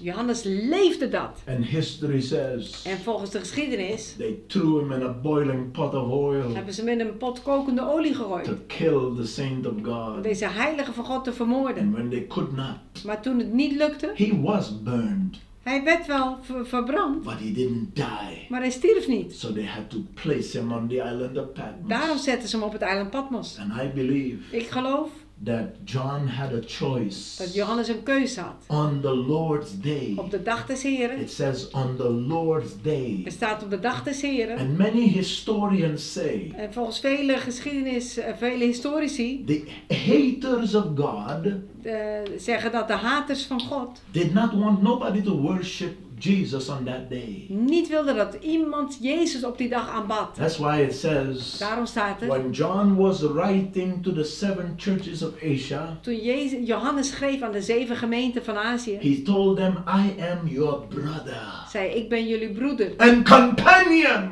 Een deelgenoot in tribulation. in de verdrukking. That's what he was doing, Dat deed hij. encouraging Hij them. bemoedigde hen. He said, I can Hij identify. zei ik kan me I identificeren. am your Ik brother ben jullie broeder. and Een companion deelgenoot in tribulation, in de, in de in verdrukking. all your pressure Hè, eh, In al jullie to verdrukking. serve Jesus. Omdat je Jezus dient. I can identify. Ik kan me identificeren. And it says on the Lord's En hij day, zei op de dag des Heren. John was in the Spirit. Johannes was in de geest.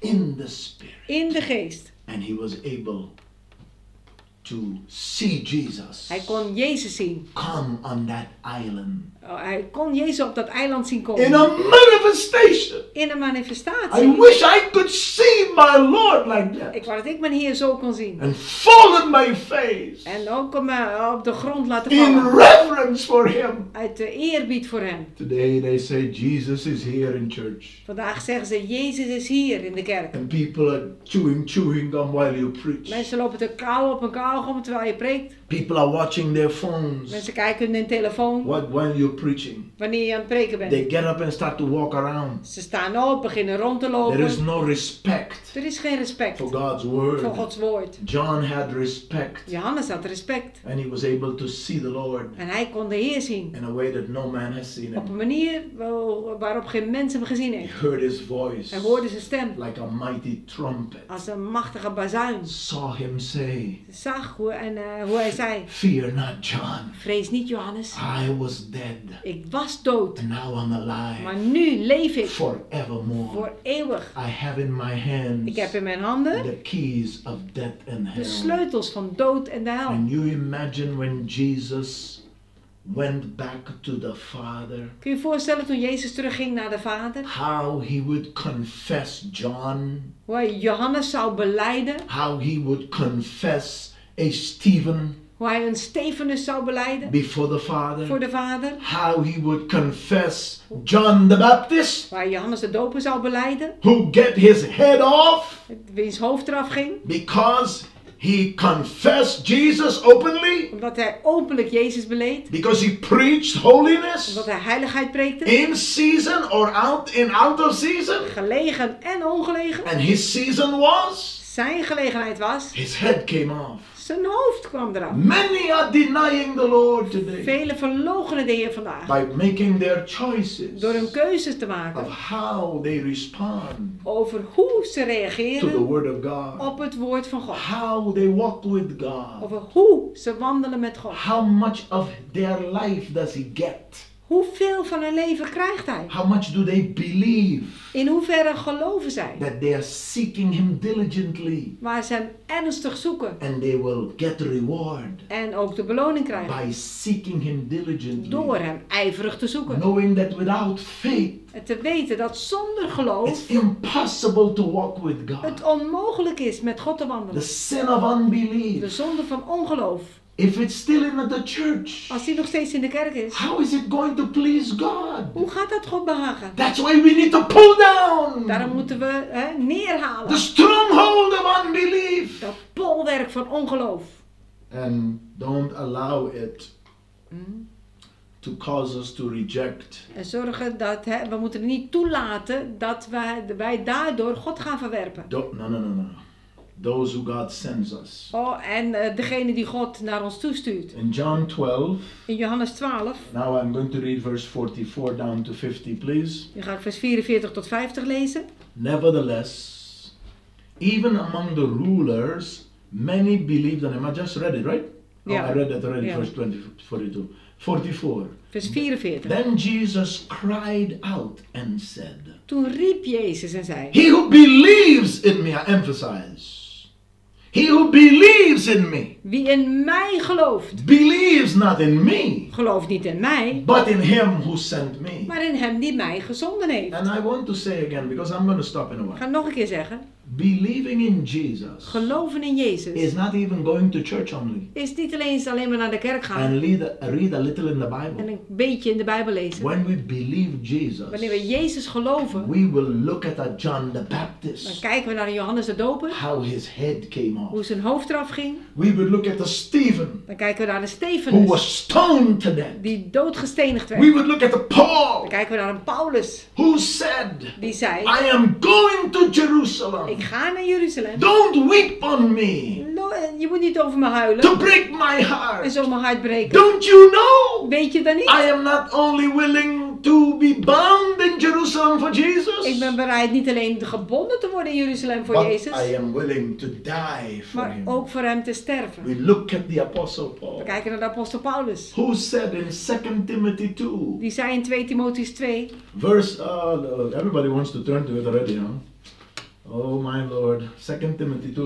I stay at John 12, I, I'm not done yet. blijf bij Johannes 12, ik ben nog niet klaar hoor. 2 Timothy chapter 2, we read, In 2 Timotheus 2 lezen we, um, yeah, I gotta read 9 until 13 now, you know, vers because 9 tot 13. wherein, wherein I suffer trouble as an evildoer, even unto bonds. Daarvoor leidt ik verdrukking en draag zelfs boeien. But the word of God is not bound. Maar het woord van God is niet And gebonden. because of that, En daarom I am able, verse 10, ben ik in staat to endure all things. alles te verdragen. Because I know, Omdat ik weet, no matter how much I suffer, het maakt niet uit hoeveel ik moet lijden. as an evildoor, A- Als een misdadiger, even in chains, zelfs geboeid, locked up in a prison, opgesloten in de I gevangenis. know Ik weet that no devil, dat geen enkele no duivel, COVID-19, geen corona or any plague and pestilence of plaag of ziekte eh, of epidemie can stop the word of God. het woord van God kan tegenhouden. And therefore, verse 10, Daarom vers 10 I will endure all things verdraag ik alles. for the elect's sake. Ter wille van de uitverkorenen. I will endure Ik everything. verdraag alles. I am not going to deny the Lord. Ik ga de Heer niet I'm verloochenen. going to believe Him. Ik zal hem geloven. I know in who I have believed. Ik weet in wie ik geloofd heb. And I know that He will keep me En ik weet dat hij mij zal bewaren until that day. tot die dag. The Bible says in verse 11, In vers 11 zegt de Bijbel. it is a faithful saying. Dit is een betrouwbaar woord. If we be dead with Him, Als wij met hem gestorven we zijn. shall also live with Him. Als wij met hem gestorven zijn. Dan zullen wij ook met hem leven. Verse 12, if we suffer, Vers 12. Als wij we lijden. shall also reign with Him. Zullen wij ook met hem regeren. If we deny Him, Als wij hem verloochenen. He also will deny Zal hij ons ook verloochenen. If we believe not, Als wij niet geloven of Vers 13. ontrouw zijn, verse 13, vers 13, yet he abides faithful, blijft hij wel getrouw. for he cannot deny himself. Want hij kan zichzelf niet verloochenen. Unbelief. Ongeloof. Tonight is the night Vanavond is de to avond demolish dat we vermorzelen the devil die of duivel unbelief. van ongeloof. The greatest sin. De grootste zonde. Now, don't take me wrong. All No. sin is sin. Nou, vat me niet verkeerd op, hè. Alle zonde is zonde. But unbelief Maar ongeloof is the mother of all sin. is de moeder van alle zonden. Uh-huh.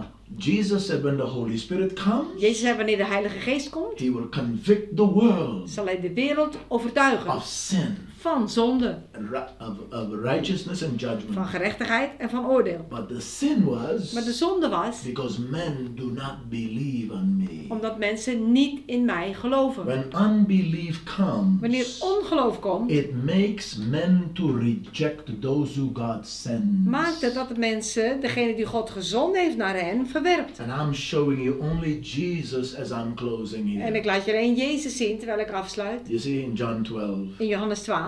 I got to read verse 44 again. Ik moet vers 44 nog een keer lezen. Jesus cried out and said, Jezus riep en zei: He who believes in me Wie in mij gelooft, believes not in me, gelooft niet in mij, but in him who sent maar in me. hem die mij gezonden heeft. He who sees me Wie mij ziet, sees him who sent ziet me. hem die mij gezonden heeft. Verse 46 46. I have come as a light into the world, Ik ben als een licht in de wereld gekomen, that whosoever believes in me opdat ieder die in mij gelooft, should not abide in darkness. niet in de duisternis blijft. And if anyone, verse 47, hears my words En als iemand mijn woorden hoort and does not believe, en niet gelooft, I do not judge him. veroordeel ik hem niet. For I did not come to judge the world, but to save the Want ik ben world. niet gekomen om de wereld te veroordelen, maar om de wereld zalig te maken. 48. 48. He who rejects me, Wie mij verwerpt, he who rejects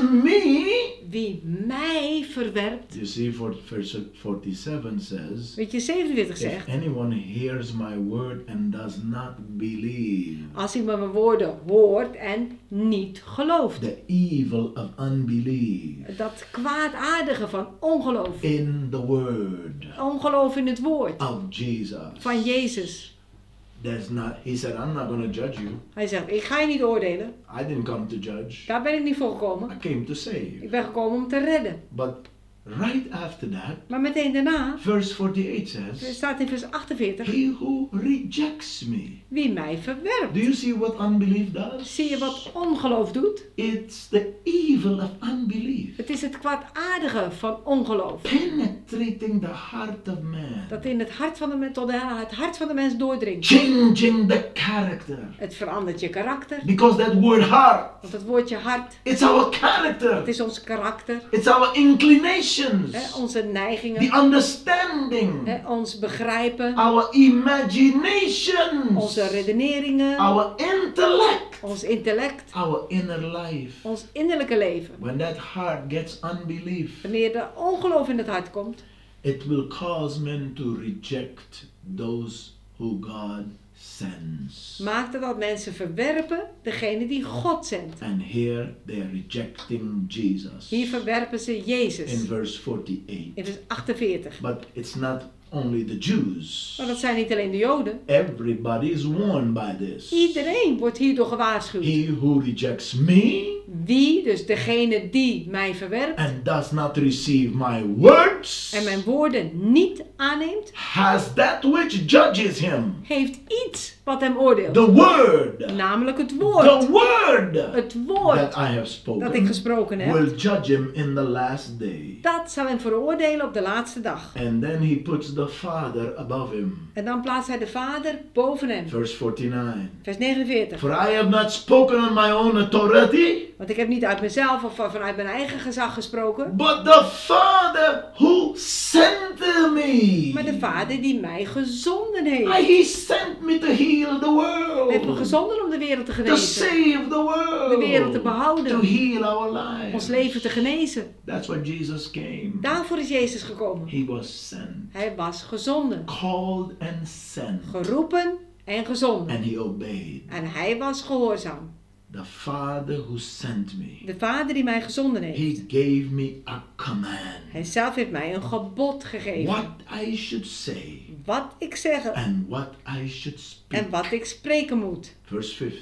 Vers 50. And I know En ik weet that his commandment dat zijn gebod is everlasting life. eeuwig leven is. Therefore, whatever I speak, Wat ik dan spreek, just as the Father has told me, spreek ik zo so I speak. zoals de vader mij gezegd heeft. I'm closing, Ik sluit nu af. but I will never forget this. Maar ik vergeet dit nooit. As this teaching that was going around about fivefold ministry, Deze leer hè, die, die overal is heen gegaan over de vijfvoudige bediening. and at that time everybody was seeking their ministry. En iedereen zocht in die tijd hun eigen bediening. And prophecies have been given left and right En links en rechts werden profetieën uitgedeeld to people about gifts that they did not have. Hè, aan mensen over gaven die die mensen niet hadden. One comes up and says, You're a prophet. Eén, eentje komt langs en zegt, jij bent een profeet. And the pastor said, That's a confirmation. You see, you're a prophet. En de pastor, de, pastor, de volgende zegt, oh dat is een bevestiging, zie je wel, jij bent profeet. And the person tells me, I'm not a prophet at all. En die profeet zegt tegen mij later, hè, maar ik ben helemaal geen profeet. So it became like a game.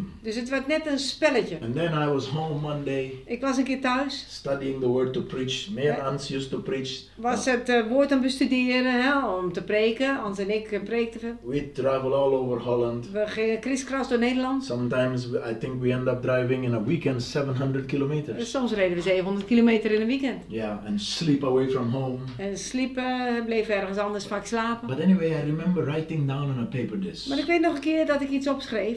I said, I put Jesus Ik schreef op, Jezus is the apostle, is de apostel. the special sent messenger, Dat is een speciaal gezonde boodschapper. sent to the world, Gezonden naar de wereld. sent to heal this Gezonden om world deze wereld te genezen. with the words of the Father, Met de woorden van de Vader. with the logos, Met de logos. with his preaching, Met zijn prediking. with his life. Met zijn leven. Jesus Jezus is the prophet. is de profeet. No one can prophesy like Jesus. Niemand kan profiteren zoals Jezus. You know, he was he was able to see what is in man. Hij was in staat te zien wat er in de mens was. Not, no, he didn't need no man to tell him nothing about no man. He sees in man. Niemand hoefde hem iets over iemand te vertellen, want hij kon zelf zien wat er in de mens omging. He walked up to Jacob's well, Hij hij was bij de bron van Jacob, ministers to the Samaritan bedient woman, deze Samaritaanse vrouw, sees her adulterous ziet relationship, haar overspelige relatie, restores her, maar herstelt haar, tell her about her sin, vertelt haar over haar zonde. and she went and brought all the Samaritans to En zij ging Christ. heen en bracht alle Samaritanen bij Christus. Jesus was the prophet. Jezus was de profeet. The lady said, Come and see a man Deze vrouw zei, kom en zie een man who told me all things of my die life. me alles over mijn leven verteld He heeft. must be the Hij Messiah. moet wel de Messias zijn. Jesus Jezus is the teacher. is de leraar. My goodness. Nobody can teach like Jesus. Niemand kan onderwijzen zoals Jezus. Nobody. Niemand. There is no one that can teach like Jesus. Er is niemand die kan onderwijzen als Jezus. This entire teachings of Jesus. Dit hele onderwijs van We Jezus, should never get bored dat moeten we niet saai gaan vinden. of looking at his We teaching moeten iets vervelend vinden om naar zijn onderwijs te and, kijken. and his preaching En zijn prediking. and his attitude toward the Old En Testament zijn houding ten opzichte van het Oude Testament. and how he went to the Hoe synagogue hij naar de synagoge ging. every Sabbath Iedere Sabbatdag. as his custom Volgens was zijn gewoonte. to read the law. Om de wet te lezen. Luke 4:16. Lucas 4, vers 16. He was the teacher. Hij was de leraar. Huh? He was the Hij shepherd. was de herder. You read that in John 10. Dat lees je in Johannes 10. How he talks about the real shepherd, Hoe hij spreekt over de ware herder. comparing that to the hirelings En vergelijkt dat met de huurlingen. that didn't care for the sheep, Die helemaal niet om de schapen gaven. but are in it only for the Maar er money. alleen maar in zitten voor het geld. They don't care. Het, het, ze- ze zorgen, het, ze geven niks. And Jesus said, En Jezus zei, I lay down my life ik heb mijn leven gegeven for the sheep. voor de schapen. As the Father knows me, Zoals de Vader mij kent, so I know zo him. ken ik hem. John 10 15. Johannes 10 vers 15. And I lay down my En ik life heb mijn leven gegeven for the sheep. voor de schapen. That's a shepherd. Dat is een herder. Jesus was the evangelist. Jezus was de evangelist. Don't you see him preaching Zie je niet dat hoe hij preekt? the gospel? Het evangelie. His first message, Zijn eerste boodschap, Matthew 4 17. Matthäus 4 vers 17. Repent! Bekeer u, The kingdom of God want is het at hand. koninkrijk van God is nabij. Why do I mention this? Waarom noem ik dat? Because it's Him. Omdat hij het is. We got to deal with every unbelief in our We hearts moeten afrekenen met elk ongeloof in ons hart. and see that Jesus has been sent En zien dat Jezus gezonden is. and He must not be rejected. En we moeten hem niet verwerpen. We need to receive We moeten aannemen all His teachings al zijn onderwijs. so the church can be built up strong. Zodat de gemeente sterk kan worden And opgebouwd. then we go to Paul En dan gaan we naar Paulus. and Peter En Petrus. and John. En Johannes. And the church will never lack. Dan zal de gemeente, The church will never lack. dan zal de gemeente nooit tekortschieten. Thank you, Lord, Dank u Heer. that this teaching went out tonight. Dat deze, dit onderwijs is uitgegaan I vanavond. pray for everybody Ik bid voor een ieder to receive the word, dat je het woord ontvangt. not as the word of a man, Niet als het woord van een mens. but as the word of God. Maar als het woord van God. And then the word will work Dan zal het woord effectually in your life. effectief werkzaam zijn in jouw leven. God willing, I will bring more messages on this evil of unbelief. Zo de Heer wil, zal ik meer boodschappen brengen over dit kwaadaardige van het ongeloof. The church must demolish De gemeente moet vermorzelen all the strongholds of unbelief. alle bolwerken van The ongeloof. Lord bless you Mogen de Heer u in zegenen Jesus' name. in Jezus' naam. God willing, we will see you Sunday. En zo de Heer wil, zien we jullie allemaal zondag. Amen.